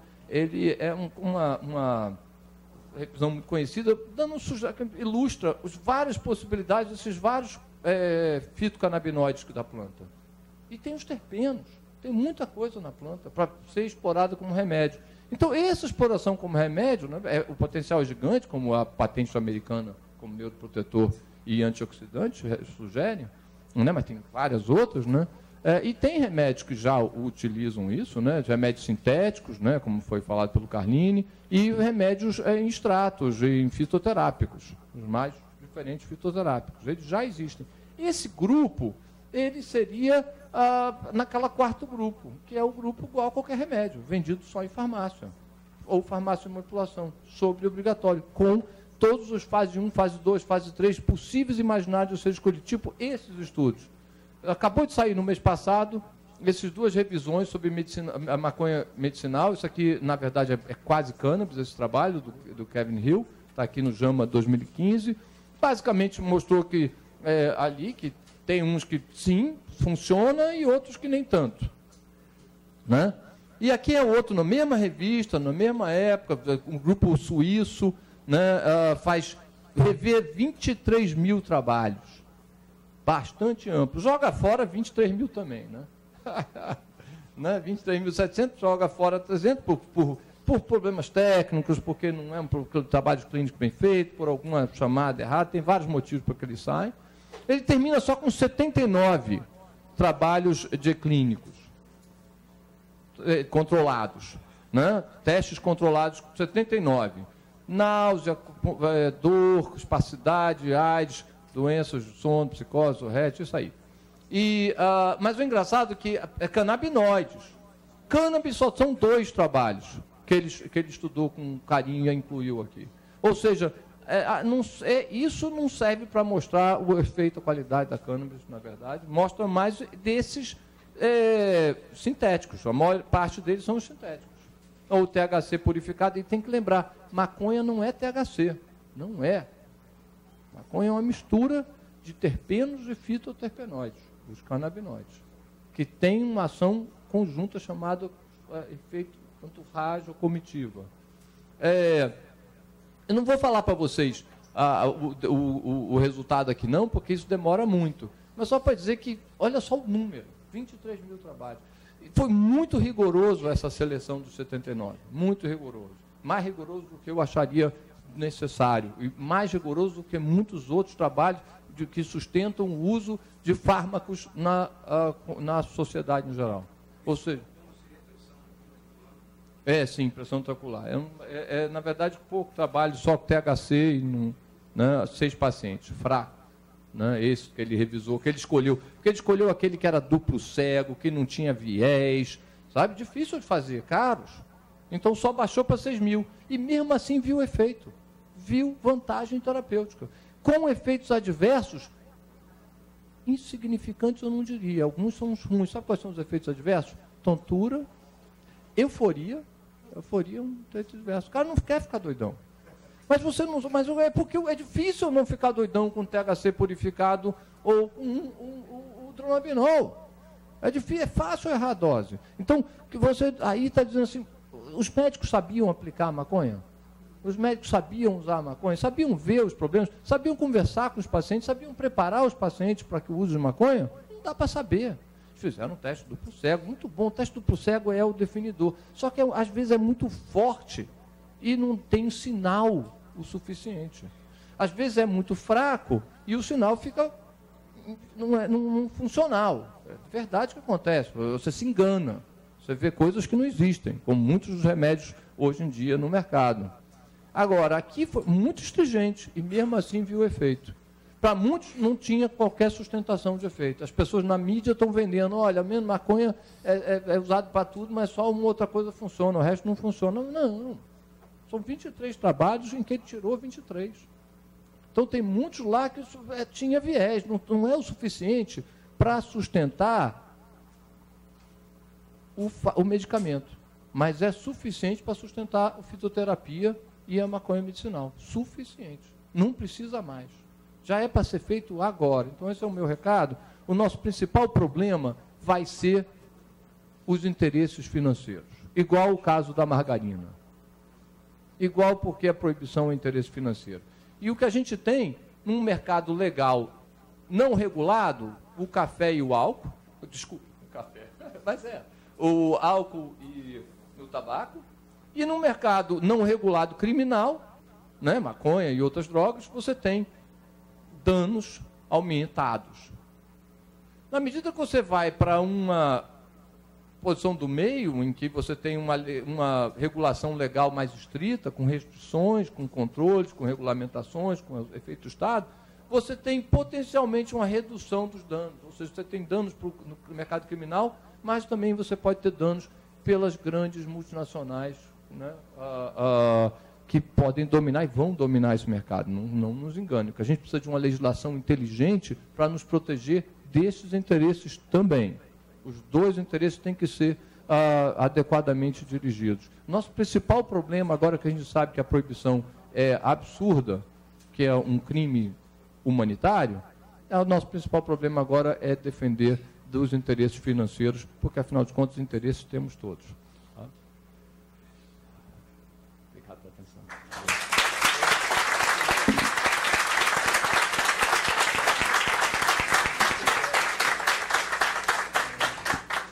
Muito bom estar aqui. É um, é um momento é, que as forças dos dois lados estão se agitando, né? Então é um momento de muita vibração. E tá, tá nessa mesa com, com esses colegas e em particular com o professor Carline, que, que realmente é uma inspiração para todo mundo, porque como ele disse, entendeu? Vamos entrar na boa briga. Ele está na boa briga desde 65. Então é, é, eu fico até arrepiado porque a, a gente vai ganhar. A gente vai ganhar. A gente está ganhando. O fato de a gente estar tá aqui agora junto é porque a gente está ganhando. Ganhando em quê?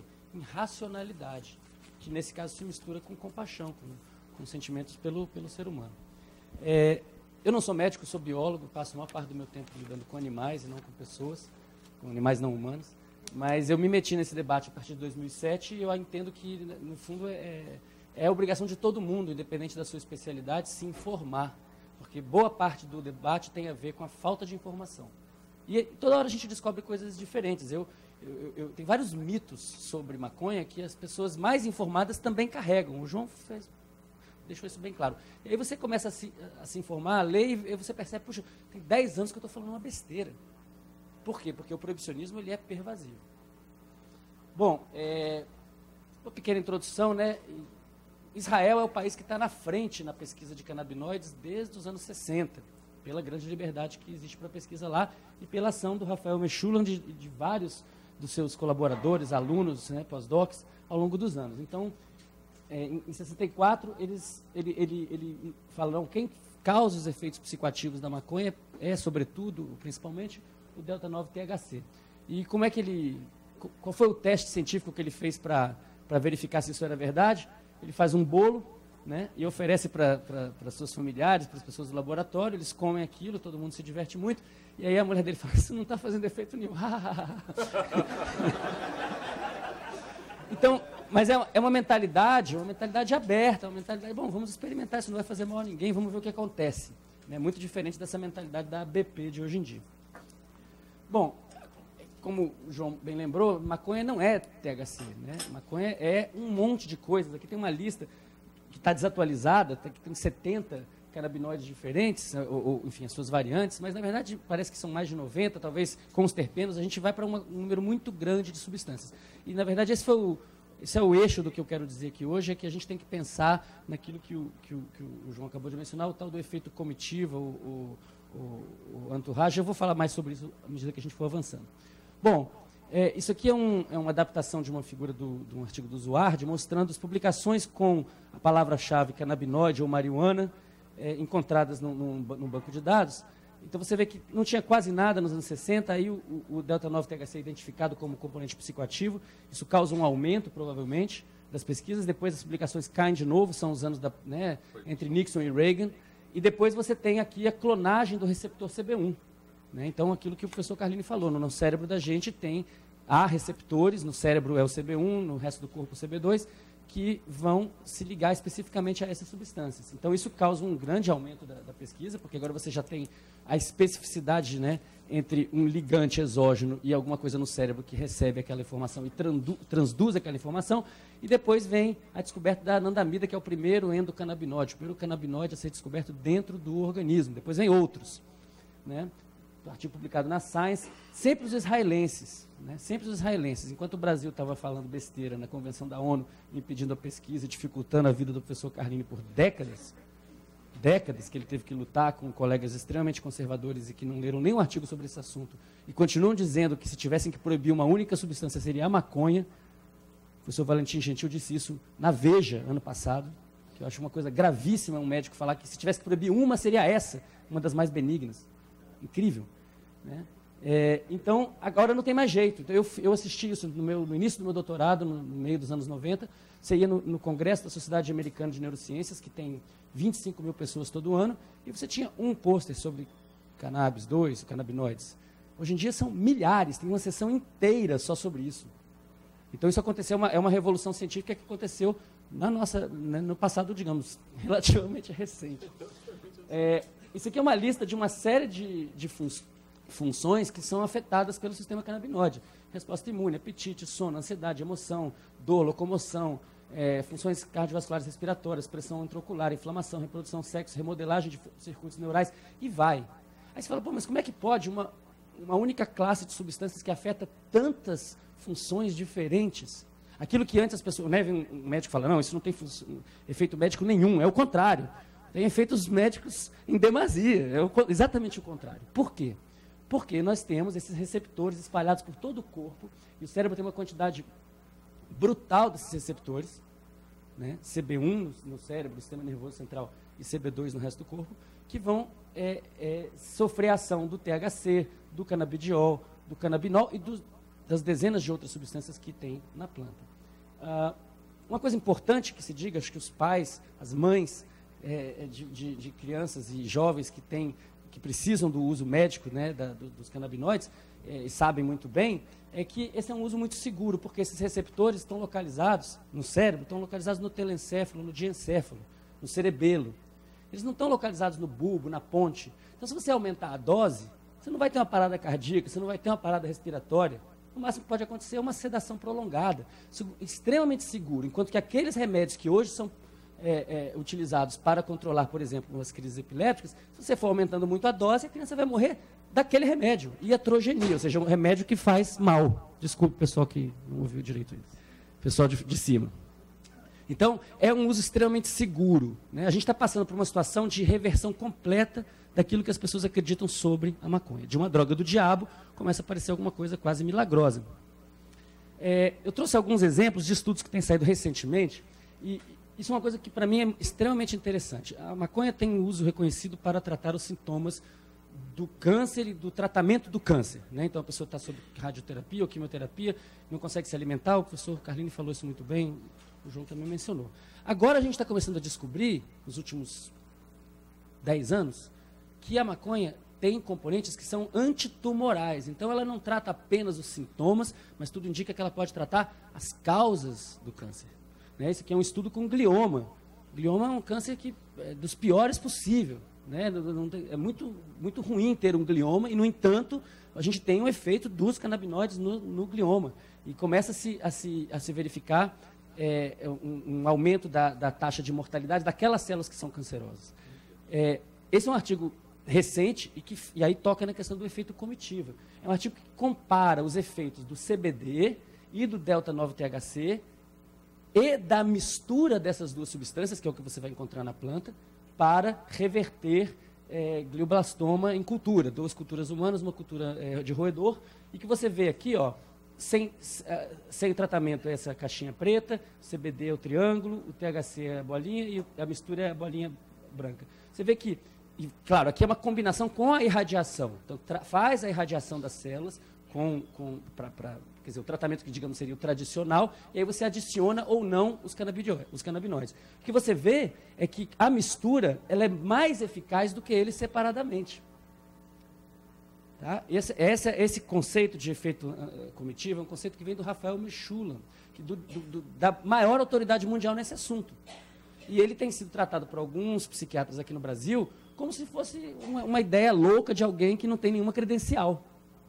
Colegas de Ribeirão Preto têm falado, não, esse efeito de torragem, isso é, isso é besteira. Quando, na verdade, isso está vindo de quem vem e está com esse tipo de apoio.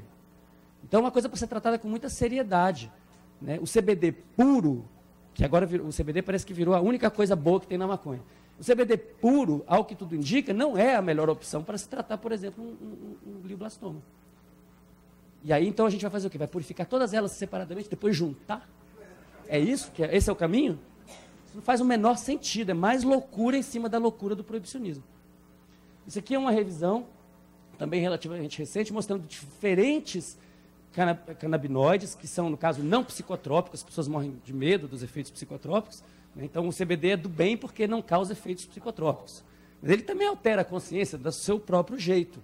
Né? E deixa a pessoa, às vezes, tão é, é, é, é relaxada ou tão é, que você precisa de fazer alguma outra coisa que estimule. Então essa discussão é uma outra discussão que a gente pode fazer mais tarde. Mas aqui está mostrando os diferentes efeitos analgésicos, estimulação de crescimento de osso, anti-inflamatório, é, para anorexia, antiepilépticos. E vocês vão notar que os diferentes canabinoides, isoladamente, podem até ter efeitos contrários. Né? O THC puro, em altas doses, vai ter efeitos completamente diferentes do CBD puro em altas doses. Uma pessoa que tem, a gente vai falar de grupos de risco, então uma pessoa que tem uma tendência à psicose, ela não deve usar THC, acho que ninguém discorda disso. Mas uma pessoa que tem tendência à psicose, ao que tudo indica, pode sim usar o CBD, porque ele é antipsicótico. Então essa discussão tem que ser aprofundada. É, bom, a dor neuropática é uma coisa que está bem reconhecida, o professor Karen já falou sobre isso. Né? É, uma coisa que é importante é a questão da adição. Então, o uso da maconha para redução de danos em usuários de crack, o trabalho do professor Dartil Xavier, todo mundo conhece, um trabalho que não pôde ser avançado, era um trabalho de observação de usuários de crack, que relataram que a maconha ajudava eles com a noia do crack e eventualmente largaram o uso do crack em função do uso da maconha e parece que até largaram o uso da maconha depois. É, isso não pode ser feito de maneira não observacional, digamos, de maneira experimental, com grupos de controle, duplo cego, porque os próprios colegas do professor Dartil impediram, falaram, a gente vai chamar a polícia se você for fazer um estudo assim. Então, o, o pensador está cerceado e a população está cerceada do direito de saber. É, na época, o Gilberto de Menstein publicou essa, essa, nota na Folha, na Folha, falando, bom, será que é a cura do crack? Claro, isso é, isso é um simplismo, não é a cura do crack, mas pode ser utilizado para redução de danos. Bom, isso aqui eu acho que é, é, é uma coisa extremamente importante e, e, e, quem ainda não viu tem que ver, são os, os, os, documentários do Sanjay Gupta sobre maconha. Então, há sete anos atrás, Sanjay Gupta vai para a CNN, é o, é o, médico oficial da CNN, né, e diz, olha, maconha medicinal é balela, isso não tem base, tomem cuidado, dizemos que não. Aí ele vem agora, no passado, e faz um documentário, depois faz um segundo, dizendo: me desculpem. Eu ignorei evidências que já existiam, evidências abundantes. Eu estava errado. Olha aqui o exemplo dessa criança. Olha como a vida dela está. Tá, tá, como ela está renascendo quando ela passa a ter o acesso ao tratamento. Isso é um, é um game changer, como dizem os americanos. Os, os Estados Unidos estão caminhando rapidamente, o próprio Obama, para né, retirar todo, todo o impedimento das leis federais e, na verdade, pra, a maconha está a caminho de virar uma das, maior, das drogas mais importantes para tratamento de uma série de doenças. E é por isso que tem tanto medo da, da legalização, porque muita gente vai perder dinheiro. É provável que ela tome o, o mercado de drogas listas, tanto medicinais quanto recreativas. Vai ter menos gente consumindo Rivotril, talvez tenha menos gente bebendo, Vai ter menos gente. E vai ter mais, vai ter mais gente consumindo cannabis, provavelmente. Isso não deve assustar ninguém, porque é uma droga superior em vários aspectos, para várias coisas. Uh, uma coisa, o que, que une todos esses personagens aqui, gente? São todos músicos, né? São todos músicos. Bob Marley, Charlie Garcia, Miles Davis, Louis Armstrong e a Madonna. Todos eles declararam em algum momento que utilizaram a maconha para a sua, é, para sua é, produção artística. Né? Peter Tosh, quando ele canta Legalize ele começa falando dos artistas. Por que será isso? Por que será isso? Por que a maconha aumenta a criatividade? Bom, primeira coisa, ela aumenta a criatividade? O primeiro artigo mostrando isso saiu no ano passado. Tá? Então, um teste de é, originalidade, fluência e flexibilidade do pensamento aumentado pelo, pelo, pela maconha. Bom, a gente começou a entender por que, que isso é assim nos últimos 10 anos. Isso é um trabalho fundamental do George Buzak, que é talvez a maior autoridade em hipocampo do mundo. Todos nós temos dentro do cérebro duas estruturas aqui, mais ou menos, por dentro, que é utilizada para adquirir memórias novas, memórias episódicas de lugares, eventos, pessoas. Obrigado. Né? Esse, o hipocampo. Se você perder o hipocampo, você não forma novas memórias episódicas. E o hipocampo é cheio de receptor CB1, é lotado de receptor CB1. Quando você não tem o canabinoide no sistema, isso aqui é um hipocampo, os neurônios, cada, cada tracinho desse aqui é o disparo de um neurônio. Tá? Então, um neurônio está aqui, outro neurônio está aqui, outro neurônio está aqui, cada cor é um neurônio diferente. Você vê que quando eles disparam, eles tendem a disparar juntos, o que a gente chama de assembleias neuronais. Os neurônios não funcionam isoladamente, eles funcionam em coletivos. Tá? Depois que o canabinoide entra no sistema, o que, que aconteceu? Tem menos tracinhos aqui do que aqui? Não. Tem mais tracinhos aqui? Não. Então a taxa de disparo dos neurônios não mudou. O que, que mudou? A organização. Eles estão menos juntos, os disparos estão menos sincrônicos. E isso explica tantos efeitos, isso é potencialmente explica, vamos colocar dessa forma, tantos efeitos medicinais, por exemplo, na epilepsia, que é um problema de hipersincronia, e síndrome de Tourette. Né? O Nathan estava falando aqui. Cadê o Nathan? Está aqui, tá aqui com a gente. Está tratando Huntington. Então, Huntington, que também tem a ver com hipersincronia, tudo isso tem a ver com esse efeito de desincronização. Tá? Mas a criatividade também. Por quê? Porque quando você tem os neurônios funcionando em assembleias hipersincronizadas, você só vai ter as ideias que você já tinha. Agora, quando você começa a bagunçar e permitir, você está aqui, quando você começa a bagunçar e permitir que esses neurônios possam se é, agrupar em outras assembleias, aí você pode misturar as ideias. Essa, isso é o que a gente está pensando hoje em dia. Tá? E isso significa, isso é muito interessante, porque do ponto de vista científico, um único efeito pode explicar diversas consequências diferentes, tanto medicinais quanto recreativas e, inclusive, místicas ou religiosas. Que é um aspecto que a gente negligencia completamente. Nos Estados Unidos isso é levado a sério. Que no Brasil, o Ra Geraldinho está preso, né, periga ficar 15 anos na cadeia, e aparentemente ninguém se incomoda com isso, porque a gente nem fala, a gente não fala desse, desse uso religioso. A maconha certamente promove né, sensações místicas, então, para quem, quem está nesse caminho, é extremamente re relevante.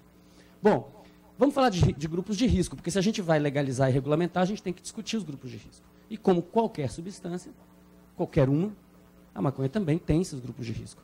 Quais são eles? Eu acho que a gente ainda não tem clareza exata, porque a pesquisa ainda é impedida. Mas a gente poderia tranquilamente, eh, digamos, do ponto de vista da proteção da sociedade, falar em quatro. Mulheres que estão em gestação ou que estão amamentando. Não há um estudo é, que passe por todos os critérios científicos dizendo que uma mulher que fumou durante a gravidez vai ter qualquer tipo de problema. Isso não há. E há vários casos de pessoas que dizem que fumaram e não tiveram problema algum. Entretanto, entretanto se você olhar a biologia molecular da embriogênese, você vai perceber que os o sistema canabinoide tem um papel fundamental. Então, né, olhando aquela biologia, você fala, puxa, não vamos mexer. Né? Não vai beber, não vai fumar cigarro, porque também não vai fumar maconha. Né? Eu, minha mulher engravidou e foi isso que a gente adotou. Né? Não vai usar nada, não vai, usar, não vai tomar café. Agora, é porque a gente tem um estudo mostrando que um grupo que usou apenas maconha, que não usou nada mais, teve problemas? Não. Provavelmente em doses baixas a maior parte dos casos não vai ter problema algum. Mas, é uma questão, já que a gente está discutindo isso com a sociedade, eu acho que é muito prudente admitir isso. Né? Existe um caso que é, eu diria que é bastante controverso, que é a questão da depressão. Tem pacientes que dizem que ficam deprimidos com maconha, tem outros que dizem que ficam que não, que ficam que é antidepressivo, e tem estudos mostrando efeitos nas duas direções, dependendo dos canabinoides envolvidos e das doses. Né? Então, muitas pessoas que têm depressão estão se automedicando e utilizando maconha como antidepressivo. Tem estudos mostrando que maconha causa proliferação de neurônios no hipocampo, neurogênese, novos neurônios sendo formados em resposta a canabinoides que vêm da planta. E a neurogênese no hipocampo está associada com efeitos antidepressivos. Um Prozac, por exemplo, depois de 15 dias, está aumentando a neurogênese no hipocampo. Então, isso explicaria por que a maconha pode ser um antidepressivo. Mas em casos em que é, de doses muito altas ou de uso muito precoce, e dependendo do que está acontecendo na vida da pessoa, a maconha pode tornar, pode causar uma, uma síndrome amotivacional, a pessoa pode, enfim, se envolver é, mais com a planta do que com a realidade, e isso acontece, e eu já vi isso, então a gente não tem por que negar. É uma coisa para é, o caso da depressão é uma coisa para se ver com cuidado, e aí sim vem a questão da informação. Qual cannabis que está sendo consumido? Com que concentrações de quais canabinoides? E em que contexto? É de manhã? É de noite? É depois de trabalhar? É antes? Tudo isso tem que ser discutido. Né? Agora, onde a gente tem evidências mais fortes é na, nesses dois grupos aqui. Né? Na juventude, por causa dessa questão da síndrome motivacional, você passa a adolescência meio desmotivado, se você fumar muita maconha todo dia de manhã, é provável que você não vá bem na escola. Certo? E a gente não deveria ter medo de falar sobre isso. E a interação com a questão dos, da psicose. A questão da psicose tem sido a, a pedra de toque, é, é, é onde os psiquiatras conservadores fazem a sua resistência. Não, e eles dizem, maconha causa psicose. Isso não é verdade. Isso não é verdade. Mas é verdade que pessoas psicóticas ou com tendência à psicose é, não tem nenhum benefício a extrair do uso do, do, do THC. Isso é o meu entendimento, acho que existe um certo consenso sobre isso.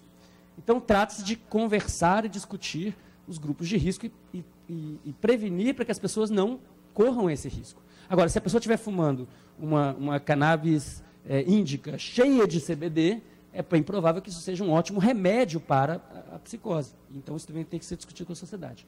É, isso aqui é um estudo recente, um estudo muito bem controlado, que chega à conclusão de que, na verdade, a, a maconha não causa, não tem como você dizer estatisticamente. Os estudos são de correlação. Então, para começar, você não pode estabelecer causalidade. Mas, a, avaliando todos os, os parâmetros, a conclusão desse estudo é que o que causa a, o, que pode estar na origem dessa, desses surtos é a herança genética e é o contexto em que a pessoa está inserida, onde ela nasceu e que a família que ela foi criada, os estresses que ela sofreu. E aí sim, o uso precoce e abusivo da, da cannabis pode uh, agravar esse quadro e devemos Isso é um assunto importante que a gente tem que discutir para legalizar. Bom, é, se eu chegasse para vocês e perguntasse: cachorro é bom? Cachorro é perigoso? Deveríamos legalizar o cachorro? Todo mundo ia achar que eu estou num stand-up comedy. Isso não faz o menor sentido, não é? O cachorro está com o ser humano há 30 mil anos, há controvérsias. Né? O cachorro é uma invenção humana para satisfazer necessidades humanas. Tinha o lobo. A gente transformou, do lobo a gente fez milhares de variedades de cachorro para funções diferentes. Um que serve para puxar trenó, um que é para proteger sua casa, um que é para guerra, outro que é para ficar virar travesseirinho. Né? Então, o cachorro tem mil funções diferentes e foi o ser humano que fez isso por seleção artificial. Esse aqui é bravo, vamos cruzar só com os bravos. Esse aqui é mansinho, vamos cruzar só com os mansinhos. Bom, eu gosto de dizer que o cão está para os animais como a maconha está para as plantas. Invenção humana para satisfazer necessidades humanas. Então, se você for lá na Índia, você vai encontrar uma variedade que é para trabalhar, tem uma outra que é para dormir, tem uma outra que é para estudar, tem uma que é para fazer amor, tem outra que é para mulher parir. Por quê? Porque tem muitos canabinoides diferentes. Então, uma única planta são potencialmente milhares de remédios diferentes ou de substâncias diferentes. É, essa pergunta, então, a cannabis faz bem, a cannabis faz mal, nós deveríamos legalizar a cannabis, ela deveria ser vista com o mesmo grau de ridículo que a primeira pergunta. Como é que a gente vai tornar ilegal uma coisa que nossos ancestrais criaram com muito trabalho ao longo de milhares de anos? Isso não faz o menor sentido. É, bom, aqui eu estou mostrando dois exemplos de. Está fora da ordem. Que são uh, exemplos de aumento de neurogênese por canabinoides. Então, por, nos anos 60, 70 e 80, era comum ouvir que maconha mata neurônio. E agora a gente descobre que maconha prolifera neurônio. Olha que reversão incrível. Aí, bom, para falar de grupos de risco, um dos problemas da proibição é que a gente não, não tem liberdade para falar sobre isso. Se a pessoa tem intolerância à lactose, isso não é um constrangimento. Ela, ela, você conversa sobre o assunto, ela olha na caixinha, isso não tem lactose, eu posso tomar. Mas e a pessoa que tem problemas com, com a metabolização da cannabis? Quem é essa pessoa? Então, pessoas que têm uma valina no lugar de uma metionina na posição 158, nesse gene chamado catecol metiltransferase, isso aqui é uma que codifica uma proteína que faz o, digamos assim, a metabolização de uma série de neurotransmissores, tá?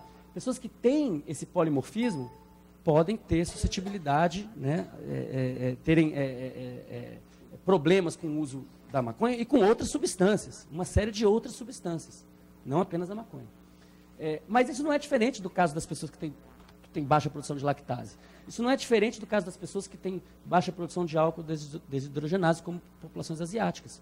E a gente lida com isso de uma maneira muito fácil. Então, é, o, medo que, que a ABP e outros e os psiquiatras conservadores dizem, não, porque a maconha tem uma associação com a psicose. Bom, a maconha e outras. Por acaso o cara que é psicótico pode beber cachaça? Pronto. Bom, ele pode, né? ele pode. Bom, isso aqui é um gráfico muito famoso do trabalho do David Nutt, que é uma pessoa super importante nesse assunto né, na, na, no, no, Reino Unido, onde ele usa uh, critérios de dano para os outros, ou perigo para os outros, para os usuários, e perigo para os outros, né, em azul os usuários e em vermelho para os outros, e faz um ranking das diferentes drogas. Você vê que lá, a pior de todas que está aqui ó, é o álcool inclusive com uma barra de dano para os outros enorme. Você não vai encontrar um caso de uma pessoa que, que entrou em casa, bateu em todo mundo da família, tirou o carro, saiu, matou 10 pessoas na rua porque fumou um baseado. Mas com álcool você vai encontrar. E com drogas dopaminérgicas também. Né? Então você vê que é, né, álcool, heroína, crack, metanfetamina, cocaína, tabaco, anfetamina, cannabis aqui, ó. Bem longe daqui do álcool que a gente vê na televisão glorificado o tempo todo. Né? É, e aí vem a questão, o que, que é?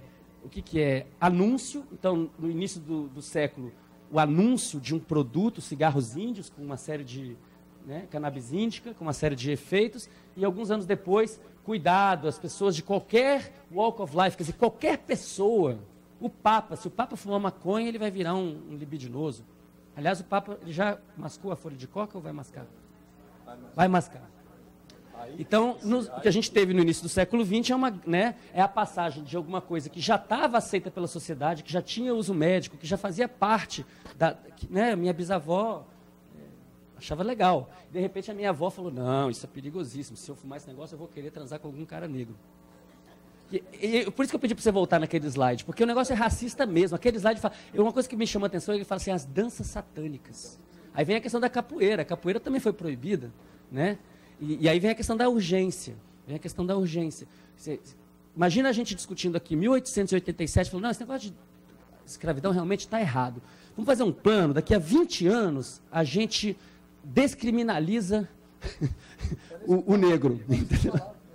E as pessoas estavam. O Brasil não está preparado para acabar com a escravidão. Esses eram os argumentos. Se você pegar esses mesmos argumentos e colocar a palavra cannabis em vez de escravidão, a gente vai ver que encaixa perfeitamente. Então existe uma urgência. Né? E por que, que tem essa urgência? Porque as pessoas estão sofrendo. Então a proibição que faz com que você pague o salário, o Estado paga o salário do cara para ele ir lá no sertão de Pernambuco, de helicóptero. Tem um amigo meu que é da Polícia Federal que já fez isso. Saiu de Brasília, pegou um avião, pegou um helicóptero para ir lá para queimar plantação ou desvio de dinheiro público para fazer uma coisa absolutamente inútil, porque a droga continua chegando, os traficantes continuam vendendo, aí a polícia junta dinheiro, compra um helicóptero, aí eles juntam dinheiro, compram uma bazuca, derrubam o helicóptero, isso é um fato, certo? E a, gente, e a, a conclusão é essa daqui. Se isso aqui não entrar na conta médica, a gente não tem debate. Quer dizer, a, a, a discussão tem que começar pelas mortes, pelo cerceamento de liberdade, isso faz parte. Os médicos não podem. A gente vê muito isso. Os conservadores médicos falam assim: não, eu sou médico, como médico, eu não posso. Primeiro, que ele se coloca num pedestal, sendo que a gente sabe que a ciência que ele tem sobre isso é quase nenhuma. Segundo, ele está tirando da conta o que mais interessa, que é o dano para a sociedade. A pessoa que, hoje em dia, o dano. Se o cara quiser fumar maconha até ficar doente, porque tudo em excesso mata, até água, ele vai ferrar só a vida dele e das pessoas que estão em torno dele. Agora, a guerra às drogas faz com que uma pessoa que está andando na rua, que foi comprar pão, leve um tiro na cabeça e não sabe por quê. E esse aqui é o problema que tem que ser discutido. E os médicos que não são conservadores têm feito esse papel, é colocar eles na parede. Fala, escuta aqui, na sua planilha Excel, onde é que entram os mortos da droga, da guerra contra as drogas? Porque se você não falar dela, então você não, mim não é médico. Então você, como médico, não está protegendo a vida humana. Bom, quem que ganha com a proibição? As pessoas que vendem armas, todo, gente, todo mundo sabe o que o México manda de droga para os Estados Unidos volta em, em armas, e que servem para quê? Para matar, né? E as grandes farmacêuticas, que têm maior interesse em vender canabidiol a 700 dólares a ampola, mas não tem menor interesse em recomendar que você plante a sua planta em casa. Né? Então, a discussão que a gente está fazendo hoje, na verdade, ela, embora a gente pareça estar discutindo ainda se deve ou não deve legalizar, a gente já sabe que vai legalizar e que vai regulamentar. A discussão é como, quem vai ganhar com isso. Né? E aí entra a questão do efeito comitê. Se na, na maconha tem 100 substâncias de interesse médico, vamos, só para dar um número, são, é como uma mesa de edição de som. Você tem 100 botões para você mexer. Dá para fazer muitas combinações diferentes. Não é isso? Eu lembro do Shulgin, do Alexander Shulgin, do, do, da exploração que ele fez do, da, da, né, é, fazendo substituições químicas da mescalina e, e testando aquela, todas aquelas drogas. Então tem muita ciência pela frente, mas tem muito conhecimento, humano para trás. E é como o João falou, prefiro 4 mil anos de tradição, que a maconha é segura, a gente já sabe. Agora, os compostos psicoativos ou não psicoativos puros da maconha, esses a gente tem que estudar com mais cuidado. Né? Então, dizer que cannabis in natura é perigoso e que princípio ativo isolado é seguro, é a mesma coisa que dizer que parto natural é perigoso e que cesariana é seguro. Não tem o menor sentido. Então, para quem. Aí a pessoa fala, mas vai legalizar e aí vem as empresas e tomam conta. Bom, eu acho que a resposta é clara. Para quem tem medo da Souza Cruz, Fiocruz. A gente tem a opção de fazer. Né, Valper? E Paulo? A gente tem a opção de fazer no Brasil um avanço com a ciência, com o Estado, que cerceia. Porque eu sou, eu sou contra a propaganda de, de, de cigarro e de álcool. Eu não sou a favor de nada disso. Eu acho que a gente não devia ter propaganda de remédio nenhum, de droga nenhuma. E legalizar, regulamentar todas. E aí as pessoas fazem suas escolhas. Né? E aí eu queria terminar com dois slides. Um que é para lembrar, acho que todo mundo sabe disso, mas acho que é importante que se alguém não sabe, se uma pessoa não sabe, eu queria dizer, né, que o efeito de qualquer droga ele só pode ser explicado com três eixos. Um é a droga. Em geral, a, a mídia e os conservadores falam só disso, a droga. Né? O professor Carine falou. O problema é o professor Ribeiro do Vale que disse, né? Temos que estudar o homem que usa droga. Então, o segundo é, o, é, é a pessoa, é o corpo que está recebendo aquela droga. E o terceiro é o contexto social em que aquele uso acontece. O proibicionismo ele é deletério para os três eixos. Por quê? Porque no caso da substância, você não sabe a dose, você não sabe se está contaminado, se está degradado. Então a pessoa está usando uma substância no escuro. O proibicionismo só pode atrapalhar. No caso do SETS, você não tem como discutir grupo de risco, porque a pessoa não se sente à vontade. Pô, eu tive, uma vez eu fui um baseado, fiquei com paranoia, será que eu posso falar sobre isso com alguém? Você não tem com quem falar, porque se você for falar, você vai ficar estigmatizado. E o terceiro é o setting, que é óbvio, né? A questão da violência, paranoia e marginalização. Ah, o cara fumou maconha e ficou com paranoia. Claro, é óbvio. A polícia vai chegar e vai prender, vai, vai cercear, vai pedir uma grana. Não é isso? Então, esse é que é o problema. Então, eu, eu, gosto de dizer que a proibição é que é a droga mais pesada. É a proibição que está interditando o debate e que está fazendo as pessoas sofrerem sem saberem por quê. A droga não. A, com a droga a gente lida, lidou com ela nos últimos 4 mil anos. Aliás, foi a gente que inventou. E dá para a gente continuar administrando o uso e cuidando dos problemas. Vai ter problema? Vai ter problema. Você encaminha o problema para quem sabe resolver o problema. Não para o PM que vai pedir uma grana ou então vai te levar para a vala. Então, na minha opinião, a racionalidade científica ela obriga redução de danos, legalização e regulamentação de todas as drogas, aqui eu estou indo além da questão da maconha, tem que regulamentar a maconha é, de maneira mais, é, digamos assim, é, é, é relaxada ou igual ao do álcool, não mais. Ah, não, você pode falar maconha, mas só... Não, não, por quê? É, relaxada ou igual ao do álcool, não mais. Ah, não, você pode falar maconha, mas só... Não, não, por quê? Se você tiver que dirigir, andar num ônibus você prefere que o motorista tenha fumado um baseado ou bebido um litro de cachaça? Então, a gente vai ter que fazer essa discussão com muita clareza com as pessoas. E eu fico bem à vontade para dizer isso, porque o secretário de Segurança do Rio de Janeiro, Beltrame, está nas capas da revista essa semana dizendo que tem que legalizar todas as drogas e tem que ser já nesse governo. Se ele, que cuida da segurança desse Estado, que talvez seja o Estado que tem mais problemas sobre isso...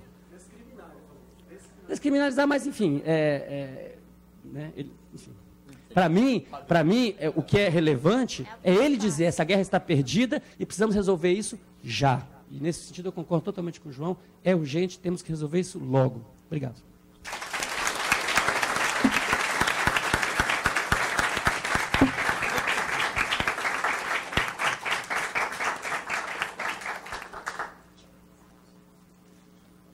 Obrigada, Serdarta. Eu sempre é por isso que quando eu fui fazer a pesquisa lá da revisão bibliográfica, eu achei tanto artigo de Israel. Agora que eu entendi, porque eu tenho essa tradição, viu? Sempre aprendo aqui. Agora vamos passar a palavra para o Dr. Ricardo Ferreira, né, que é especialista em dor e diretor da Abra Cannabis, Associação Brasileira de Cannabis Medicinal. É, bom dia a todos, meu nome é Ricardo Ferreira. Eu estou aqui representando o nobre colega é, Dr. Eduardo Faveré, que é um dos pioneiros do uso da cannabis medicinal e do CBD para crianças com epilepsia no Brasil, e que infelizmente não pôde estar aqui hoje presente por estar acompanhando o exame de um paciente que ele tem que estar junto na máquina de tomografia. Achou? Mas é, espero aqui corresponder à altura do conhecimento e dedicação que o doutor Eduardo tem. É, eu, diferente dos nobres colegas da mesa, eu sou um médico assistencialista, quer dizer, eu não sou pesquisador, não sou cientista, eu sou um usuário da medicina, um usuário da ciência. Assim como tem, a maioria daqui usa sistemas de computador, a maioria usa aqui programas de computador, e poucos, talvez nenhum aqui desenvolva programas de computador, eu sou um médico que utiliza a ciência, que utiliza a medicina. Há mais de 15 anos eu acompanho e trato pacientes com dores crônicas, com dores é, de origem principalmente na coluna. Minha especialidade, além de dor, é também a cirurgia de coluna. E a cannabis medicinal, ela entrou na, na, na minha prática médica devido à minha frustração com alguns pacientes. Quer dizer, alguns pacientes que não respondiam ao tratamento medicinal convencional, dentro da medicina convencional. É, a partir de janeiro desse ano, a Anvisa reclassificou, reclassificou CBD como uma droga com valor medicinal e a partir desse momento, eu comecei a prescrever para vários pacientes, através de, de forma legal, é, com autorização da Anvisa, utilizando as regras né, de uso compassivo e utilizando a cannabis para dor em uso off-label. Quer dizer, todo médico tem o direito de fazer uso do medicamento da forma que ele achar necessário. Não é porque a bula diz que ele serve para uma coisa que você usa essencialmente para aquela coisa. A pediatria, por exemplo, é uma prática, é uma especialidade que é basicamente 60% dela pautada no uso off-label. O off-label significa o uso da medicação para indicações diferentes ou em doses diferentes da recomendada padronizada. Bom, é, várias coisas da minha apresentação são redundantes ao que os colegas falaram, então eu vou tentar atentar muito mais à minha resposta clínica, à minha observação dos meus pacientes nesse curto intervalo de tempo que eu tive, porque infelizmente, só tive acesso oficial à droga a partir de janeiro desse ano, mas já tem uma, uma casuística bastante interessante, já, já observado um feedback em relação a vários pacientes que estão utilizando de forma é, sistemática o CBD e quem dera o THC no futuro também vai ser uma, excelente ferramenta na, na, minha prática médica. É, lembrando que a planta, a cannabis, a cannabis, assim como qualquer planta, é composta por vários elementos, e você tem elementos que são exclusivos dela, que são os canabinoides. Então, os canabinoides são elementos que apenas a planta cannabis tem. Outras plantas não têm canabinoides, então são exclusivos da planta cannabis. E essa que é o diferencial da cannabis. Cannab... os canabinoides afetam de forma diferente diferentes pessoas. Então, como o doutor Siddhartha falou, como o professor Carlini falou, existe uma diferenciação muito grande entre plantas e canabinoides, a concentração de canabinoides de espécies e plantas diferentes. Existem as variedades de cannabis. Então, a cannabis não é uma planta só. A cannabis, na verdade, são várias espécies, são várias variedades diferentes. E cada variedade, cada espécie tem uma concentração diferente de canabinoides e terpenos, que são os óleos essenciais que não são exclusivos da cannabis, que tem no limão, que tem no abacaxi, que tem outras plantas. E existe um efeito comitivo, existe um efeito de interação entre esses canabinoides e os terpenos. Existe, uh, por exemplo, uma variedade chamada Durban Poison, que ela é rica num, num canabinoide que está sendo recentemente o canabinoide da moda, que é o THCV.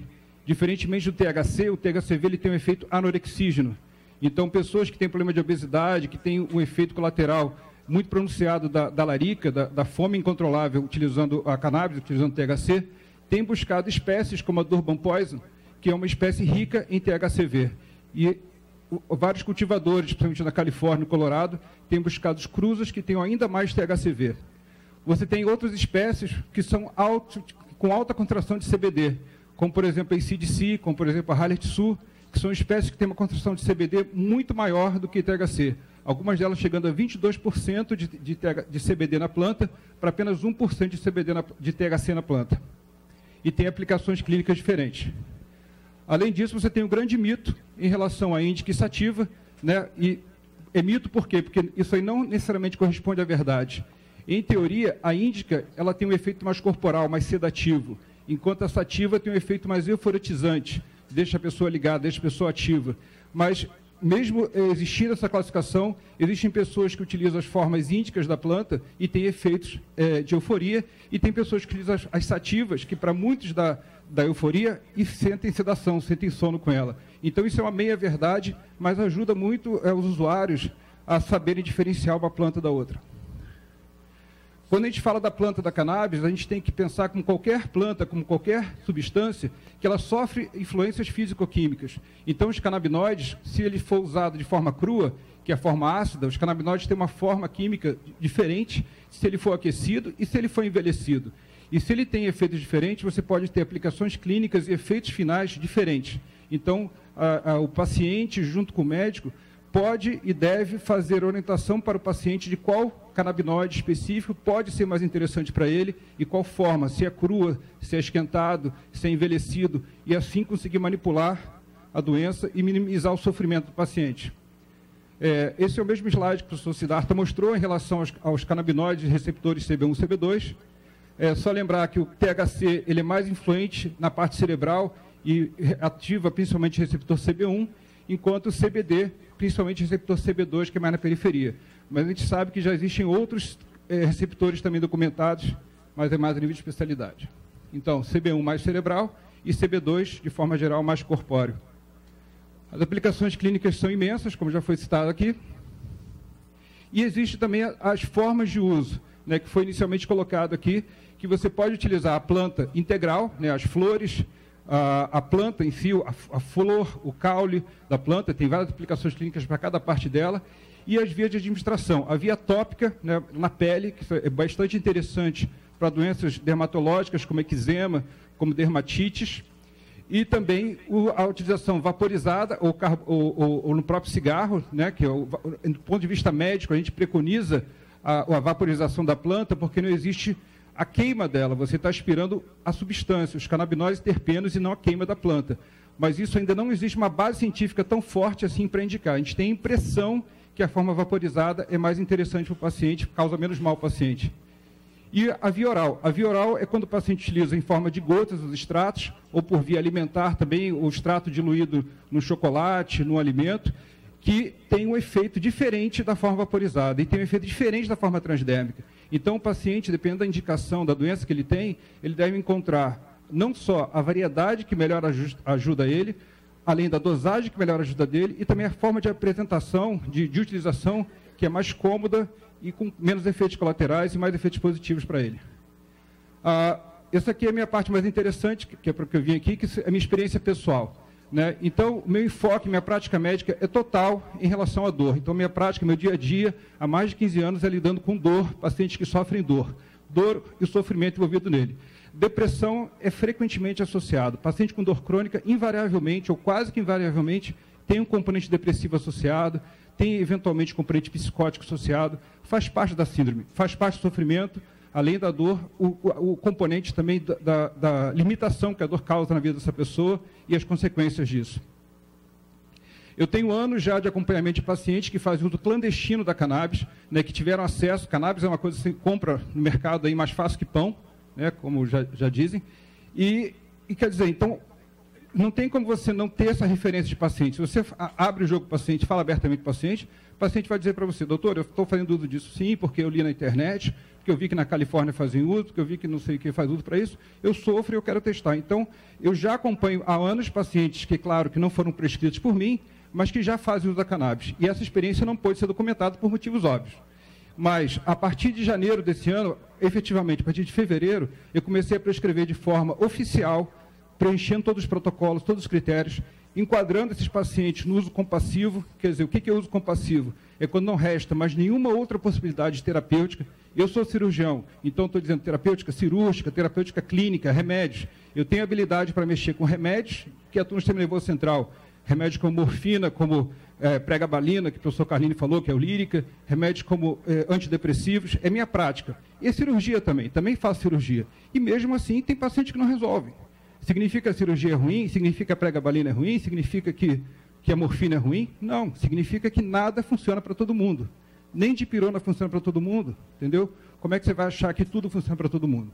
Então a cannabis, ela entrou na minha prática médica para esses pacientes que eram refratários, que eram não responsivos to a todas as, as outras alternativas é, cirúrgicas ou não. Nesse total, eu tenho atualmente 73 pacientes que eu recomendei o uso da cannabis, que eu indiquei o uso da cannabis. Não necessariamente esses pacientes começaram a fazer uso existe uma dificuldade muito grande em relação ao acesso ao produto. A Anvisa, até ontem, eu, eu, pensava que a Anvisa tinha uma facilidade em relação a isso. Uma vez que eu preenchesse os critérios de uso compassivo, eu mandava para a Anvisa, a Anvisa autorizava para esses pacientes um prazo de mais ou menos uma semana. A partir daí, os pacientes começaram a ter outra dificuldade, que é a efetiva importação do produto, em relação a preço, em relação a dificuldades na Receita Federal, em relação a dificuldades de, de caber aquilo no orçamento da pessoa. Então, várias dificuldades a isso. Então, por conta disso, esses 73 pacientes não necessariamente entraram na Anvisa e não necessariamente começaram a utilizar. Mas eu recomendei. E já tem alguns pacientes utilizando com sucesso bastante interessante. É, na minha visão, a cannabis tem um, tem um conceito da, da, do uso customizado. Quer dizer, diferente dos outros remédios que a gente prescreve não sei quantos miligramas, não sei quantas vezes ao dia, por exemplo, lírica, 75 miligramas, uma, duas ou três vezes ao dia, a cannabis, eu acredito que o paciente tem que encontrar a resposta individual dele. Então, eu sempre recomendo para o paciente, uma vez que tem acesso ao produto, que ele comece utilizando a menor dose possível. Né? Atualmente, a gente só tem a forma por via gotas, né? por via oral do, do canabidiol, e o paciente começa usando uma dose ridiculamente baixa, como três gotas, cinco gotas, duas vezes ao dia, e a cada dois dias ele avalia a resposta terapêutica dele. Se ele conseguiu melhorar com uma dose baixa, ele mantém aquela dose. Se ele não melhorou, ele vai subindo progressivamente ou o número de gotas ou a frequência de uso. De duas para três, de três para quatro, por aí vai. Eu acredito muito no sinergismo da cannabis, no sinergismo com outras drogas. Então, como clínico de dor, eu não faço tratamento apenas com remédio. Eu, eu, eu tenho, faço uma, uma, uma, cesta de remédios que atuam de forma diferente no mecanismo da dor, de receptores diferentes do GABA, receptores é, colinérgicos, e eu trato a dor dessa forma há muitos anos. Então, acredito que a cannabis ela seja, ela tem um efeito comitiva, não só em relação aos canabinoides, mas também um efeito comitiva com outros fármacos. E acredito muito na sinergia. Eu tenho vários pacientes atualmente que estão fazendo uso da, do CBD associado com um tipo de morfina chamado bupremorfina, que é um PET trans, transdérmico, que ele libera uma substância que vai se transformar na, na morfina no segundo momento. E o resultado é incrível em relação ao alívio de dor e, principalmente, incrível o quanto que esse paciente consegue receber, obter alívio da dor com doses incrivelmente baixas de CBD. Então, ele utiliza a bupremorfina associada ao CBD, mas doses ridículas de CBD ser colocado menos de um miligrama de CBD por dia. Quer dizer, são coisas, um cheirinho de CBD associado a, a, a outras drogas, como a bupremorfina. É, Para ilustrar isso, eu tenho alguns pacientes aqui que eu vou mostrar casos, casos reais, pacientes que fizeram experimentação do canabidiol. Essa aqui é uma paciente pós-operatório de, de, coluna de sinose canal, uma paciente que te, tinha o pé caído, quer dizer, que tinha um dano neurológico, e após fazer uso da cannabis, isso aqui é antes, como é que eu, como é que eu acesso aqui?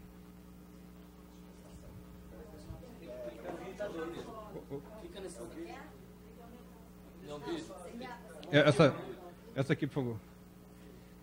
Então, opa, voltou. Clica, por favor. Está com dor? Muita dor. Dor aonde? No quadril, irradia pelo bumbum, vai para a coxa. Era um pouquinho, antes dela experimentar a cannabis. Muita dor mesmo, muito. Quando a gente trata a a gente pega os pacientes de olhar o rosto da pessoa e ver como ela relata a dor. Anteontem. Anteontem. Está muito forte. Muito. E essa dificuldade de caminhar, é, assim, 10 metros para mim é uma tortura. Vamos ver então como é que você vai ficar depois do remédio. Olha a expressão de dor dela. Então essa aqui é uma paciente antes de fazer o uso do canabidiol. E essa aqui ela é imediatamente após. Pode passar, por favor, esse seguinte. Ela vai falar, não lembro. Ele fez cirurgia de coluna há mais ou menos seis meses estava é, indo bem, depois piorou de novo a dor neurológica, a dor para a perna nos últimos dias. Isso. É, a dor absurda, não responsiva ao, à codeína, né, ao Tilex. E Ele chegou aqui na clínica com muita dor, igual aquele vídeo que a gente gravou. Como é que você está agora, depois dessas quatro gotinhas, talvez? Quatro gotinhas você tomou? Foi no mesmo dia, tá? Quantos minutos depois? 15 minutos depois? 15 minutos? É, eu não vi a hora não, mas realmente melhorei bastante. Levanta, por favor. Vamos comparar como é que você levantou, como é que você estava andando, como é que você está agora. Bem melhor. Bem melhor. Estou conseguindo levantar sem sentir dor. Nem está repuxando tanto.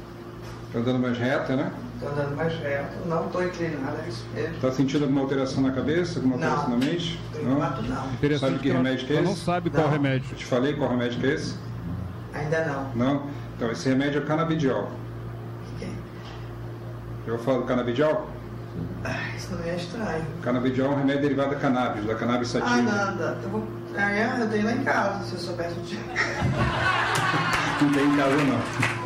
Porque isso ainda é THC. Paciente reais. Não, eu sei, eu não tenho remédio, mas eu tenho. Tem a planta. Bom. essa, essa, é, essa é a minha vida. é. Entendeu? Então, quando eu estou falando para vocês, eu tenho um relato de anos de paciente fazer uso do cannabis medicinal. E, e, é muito diferente a cannabis, medicina, a cannabis que o paciente tem acesso ao mercado, quer dizer, o prensado paraguaio, não é medicinal, entendeu? Então, se de repente ela usou, eventualmente, se virtualmente ela tem usado, é, ela não teve benefício. E com esse remédio, depois de 10, 15 minutos, ela teve benefício.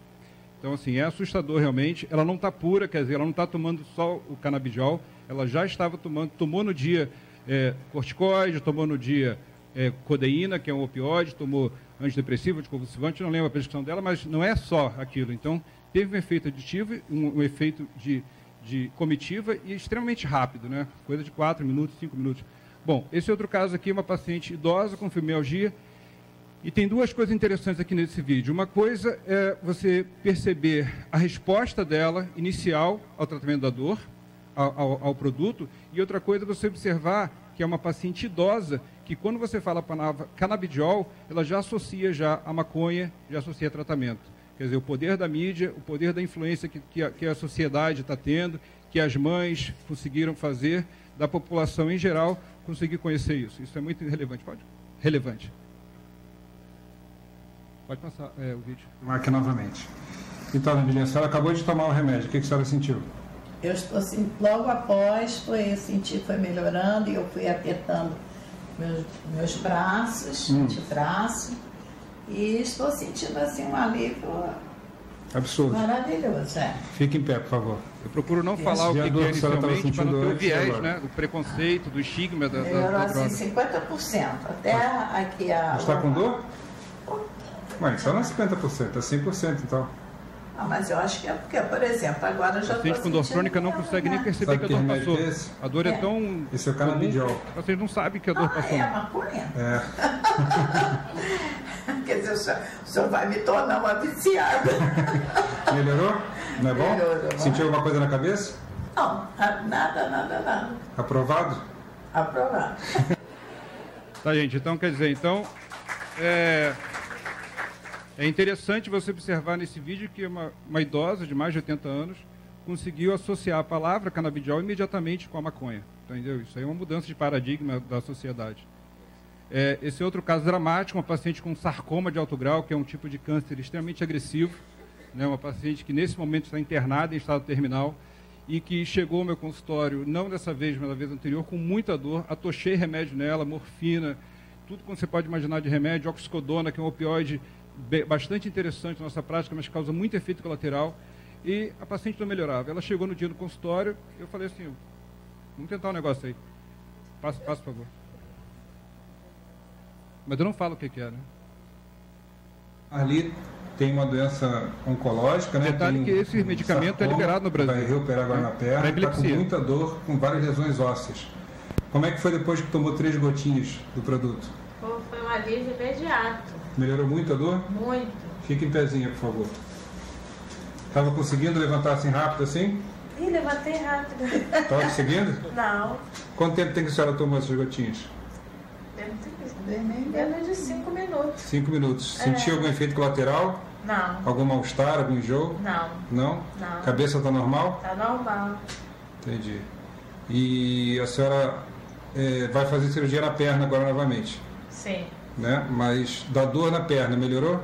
Anda um pouco para ver. Ela chegou para ir por conta das metástases na coluna, dor na Antes coluna. não estava conseguindo andar? Não, só andava direito. Me arrastando e segurando. Ok. Tá, então, casos reais, pessoas reais, mas nem tudo é maravilha, né? Efeitos colaterais também acontecem né, principalmente efeitos gastrointestinais em relação à náusea, diarreia, principalmente da forma da via oral. Então, por isso que é interessante a gente ter acesso a outras vias, porque a pessoa que de repente tem sintomas gastrointestinais com a, a aplicação via oral, que ela é diluída em glicerina e outros óleos vegetais, ela pode ter efeito por causa da glicerina, por causa de outros elementos. E talvez a, a, a via é, vaporizada para essa paciente poderia ser interessante. A sonolência, ela pode acontecer, ela normalmente é dose dependente e, e, tem uma predisposição de cada pessoa em relação a isso. Quanto maior é a dose, maior pode, é o potencial dessa pessoa ter sonolência. Então, para mim, o canabidiol, embora a grande maioria diga que não é psicoativo, para mim ele tem um efeito psicoativo, mas ele não tem um efeito de euforia. Ele é não euforotizante, eu, eu, não causa euforia, é, não causa euforia, mas por outro lado ele tem um efeito sedativo e pode causar também confusão, né, de saber o que é direita e esquerda, dá tipo uma efeito tipo dislexia, o que é direita e esquerda, dificuldade de fazer contas, então, isso pode acontecer. E o principal efeito colateral atualmente é o buraco no bolso, tá? É muito caro, entendeu? É uma, além da dificuldade de acesso, é muito caro. A gente tem que batalhar para conseguir abaratear o produto. A produção nacional é importante. A produção, eu prego radicalmente que tem que ser priorizado uma produção nacional através de clubes de, de associação de pacientes que, com rateio de custos, através de empresas eh, sem fins lucrativos que tem um rateio desse custo, pagando salário, é claro, para quem for trabalhar, para viabilizar o negócio, mas sem fins lucrativos. Só assim você vai conseguir popularizar o acesso. E quando estou falando, esse, esse minha amostra aqui, né, representa 2% da população brasileira. 2% da população brasileira sofre né, de dor crônica. 2% da população brasileira, da população brasileira potencialmente são meus clientes, são meus pacientes, assim como outros médicos. É, pode passar isso aqui. Isso aqui é uma paciente que, inclusive, é minha prima, com fibromialgia, escoliose degenerativos, com desgaste importante da coluna, depressão, multimedicada. Né? Essa aqui, ela, antes de fazer o teste, pode passar esse primeiro aqui, por favor. É uma paciente que já esteve internada por conta de dor. Janete é portadora de uma grave lesão na coluna, né? um grave desgaste da coluna já teve internado tratando dor, com uma crise muito forte, depois estava controlando a dor com remédios, tomando... Na internação dela, ela fez a constipação de uma mais, semana, teve CTI, com mais relaxante muscular, de, com algum de sucesso, obstrução intestinal, depois a gente suspendeu o relaxante muscular, quase morreu, minha prima. Teve síndrome de abstinência relacionada à perda da substituição do relaxante muscular e a dor voltou. Chegou aqui na clínica, estava com uma dor bastante intensa, né? É. Como é que você está agora, depois que você experimentou esse produto? Melhorou. Você acha que melhorou quantos por cento? Melhorou. Ah, posso dizer que melhorou uns 60%. 60%? É, por aí. Está com dor ainda? Pouquinho. Acho, acho que nem está mais doendo. Então, mais que 60. É, Acredita, mais que 60. Então fique em pé, por favor. Faz o movimento que você fazia e dava dor. Não, dói um pouquinho ainda. Pouquinho. Mas comparativamente? Não, melhorou bastante. Melhorou? Melhorou. Faz a rodadinha assim, a coluna para um lado, para o outro. Quem tem fibromialgia tem dor ao É movimento, pouco né? O movimento deveria É, causar pouco. dor. Mas em comparação, como estava? Ah, melhorou bastante. Alguma coisa já deu tanto alívio assim, tão rápido? Tramal, Tilex, Não, Oxycontin, não, deu tanto alívio assim tão rápido? não, rápido. Sabe, você sabe o que que você tomou? Não. Não? Você tomou um remédio chamado canabidiol. Ah, Sabe o que é canabidiol? Sei, aqui, ó. sei de ouvir falar na Então, cana, canabidiol é um produto derivado da cannabis, da cannabis sativa. Ele provocou alguma alteração da sua mente? Sonolência? Não. Alguma coisa? Alguma Ah, ah. diferença? Não? Tudo bem? Tudo bem. Bom? Então, essa paciente é minha prima, e nem por isso ela tem uma boa condição financeira, e nem por isso teve acesso fácil ao medicamento. Ela demorou dois meses para conseguir o medicamento, a aprovação da Anvisa foi relativamente rápida, ela conseguiu uma semana a aprovação da Anvisa, mas demorou dois meses para conseguir efetivamente receber o produto é, em mãos. E eu tenho aqui um vídeo aqui dela, depois de uma semana de uso regular, fazendo uso contínuo do canabidiol, a resposta dela. Quer dizer, não é só aquele efeito imediato, é efeito depois. Então, esse é um caso interessante que mostra. Vamos lá.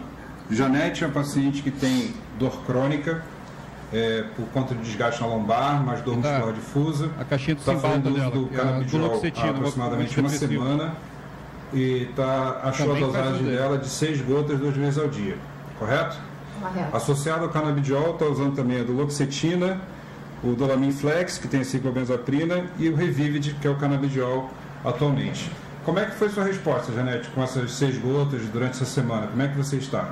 Foi ótimo, tô praticamente sem dor. Sem dor. Sem dor. O quanto. Qual foi a dificuldade que você teve para ter acesso a esse produto? Foi fácil? Foi barato? Como é que foi? Conta para muito mim. difícil e muito caro. Muito difícil, muito caro. É. Mas conseguiu ter acesso a ele. Consegui, demorou dois meses. Mas conseguiu. Consegui. Muita burocracia. Muita burocracia. E você acha que mesmo assim vale a pena?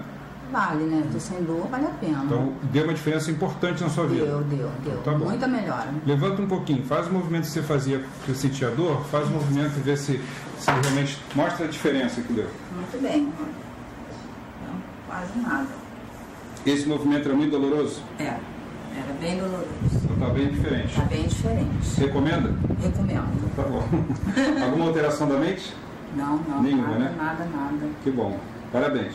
Obrigada. Então, quer dizer, minha prima, com todo o conhecimento, com toda a bagagem cultural que ela tem, com condição financeira, demorou dois meses para ter acesso ao produto. né? Então, ainda está muito difícil. Um produto que funciona, uso off-label. Né? É, ontem eu tive com o diretor da Anvisa, ele me questionou por que, que eu estava indicando tanto produto. Eu falei, eu acho que é porque eu sei que funciona e porque os outros médicos não sabem, ou os outros médicos têm medo de encarar a burocracia da Anvisa, que é muito chato, é muito papel. Entendeu? Desses 70 pacientes eu perco aproximadamente com um sistema de recorte e cola, mas a história é individualizada, mas os, os documentos são basicamente os mesmos, apenas o relatório é diferenciado. Eu demoro 15 a 20 minutos para fazer para cada paciente. Qual médico tem a disposição de fazer isso? Entendeu? Qual médico vai ter a disposição de explicar para o paciente que tem que tomar duas gotinhas aumentando, aumentando, aumentando, aumentando, aumentando? Pacientes que são é, quase que invariavelmente com outros componentes associados, depressão, psicose, e, e, com dificuldade de compreensão, pacientes idosos ou não. Então, quer dizer, dá trabalho, é chato. Quem vai ter disponibilidade de fazer isso? Entendeu? Eu tenho, nem todo mundo tem. Então, talvez por isso que eu prescrevo os outros não, mas acredito que apresentações como essa aqui façam que outros médicos também se estimulem a, a seguir isso aí, a fazer isso aí, porque dá resultado, entendeu? E quando aqui, a ABAD falou que o, o médico que advoga em relação a cannabis tem alguma coisa por trás, eu tenho coisa por trás sim, é lógico que eu tenho. Eu tenho por trás o benefício do paciente. Entendeu? O benefício. Lógico.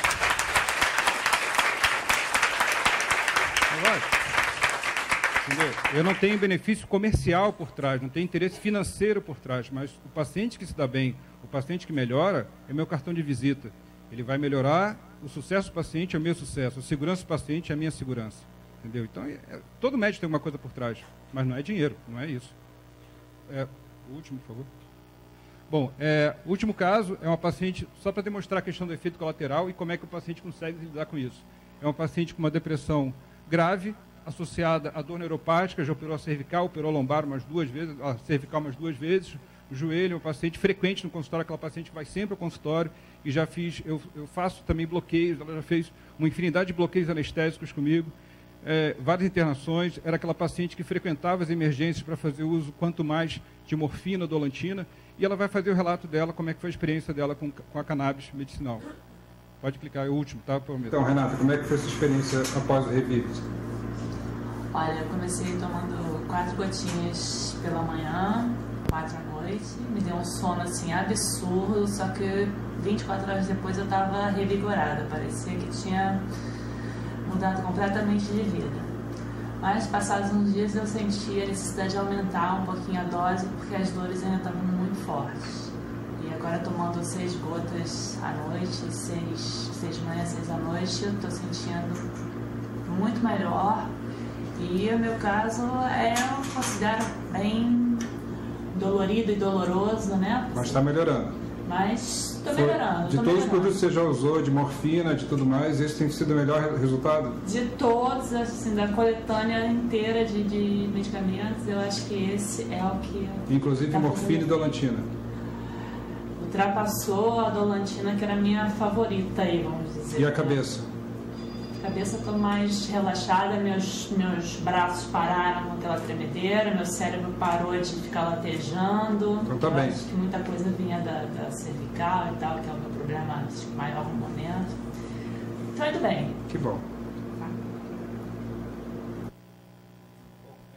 Então, cada caso desses aí eu botei que cada um tem uma particularidade em termos de efeitos positivos, negativos, em relação à experiência pessoal. E a arte está em você usar as ferramentas que você tem no mercado, entendeu? Eu sou um médico é, é, ativo, quer dizer, em relação intervencionista, faço cirurgia, atendo o paciente, meto um monte de remédio do paciente, uso as ferramentas que a medicina e a tecnologia disponibiliza para mim da forma mais plena possível, entendeu? E não gostaria de ter meu direito cerceado em ajudar as pessoas, porque efetivamente está ajudando. Ah, para frente. Ok? Eu não sei se esse é o caminho, né, das pessoas plantarem em casa. eu não sei se esse é o caminho. Não cabe a mim resolver isso, mas eu sei que as pessoas precisam do produto. Se vai ser plantando em casa, se vai ser cooperativa, se vai ser uma farmácia vendendo. Eu espero que seja a maneira mais segura, mais eficaz, mais barata, mais acessível para essas pessoas. É, muito obrigado.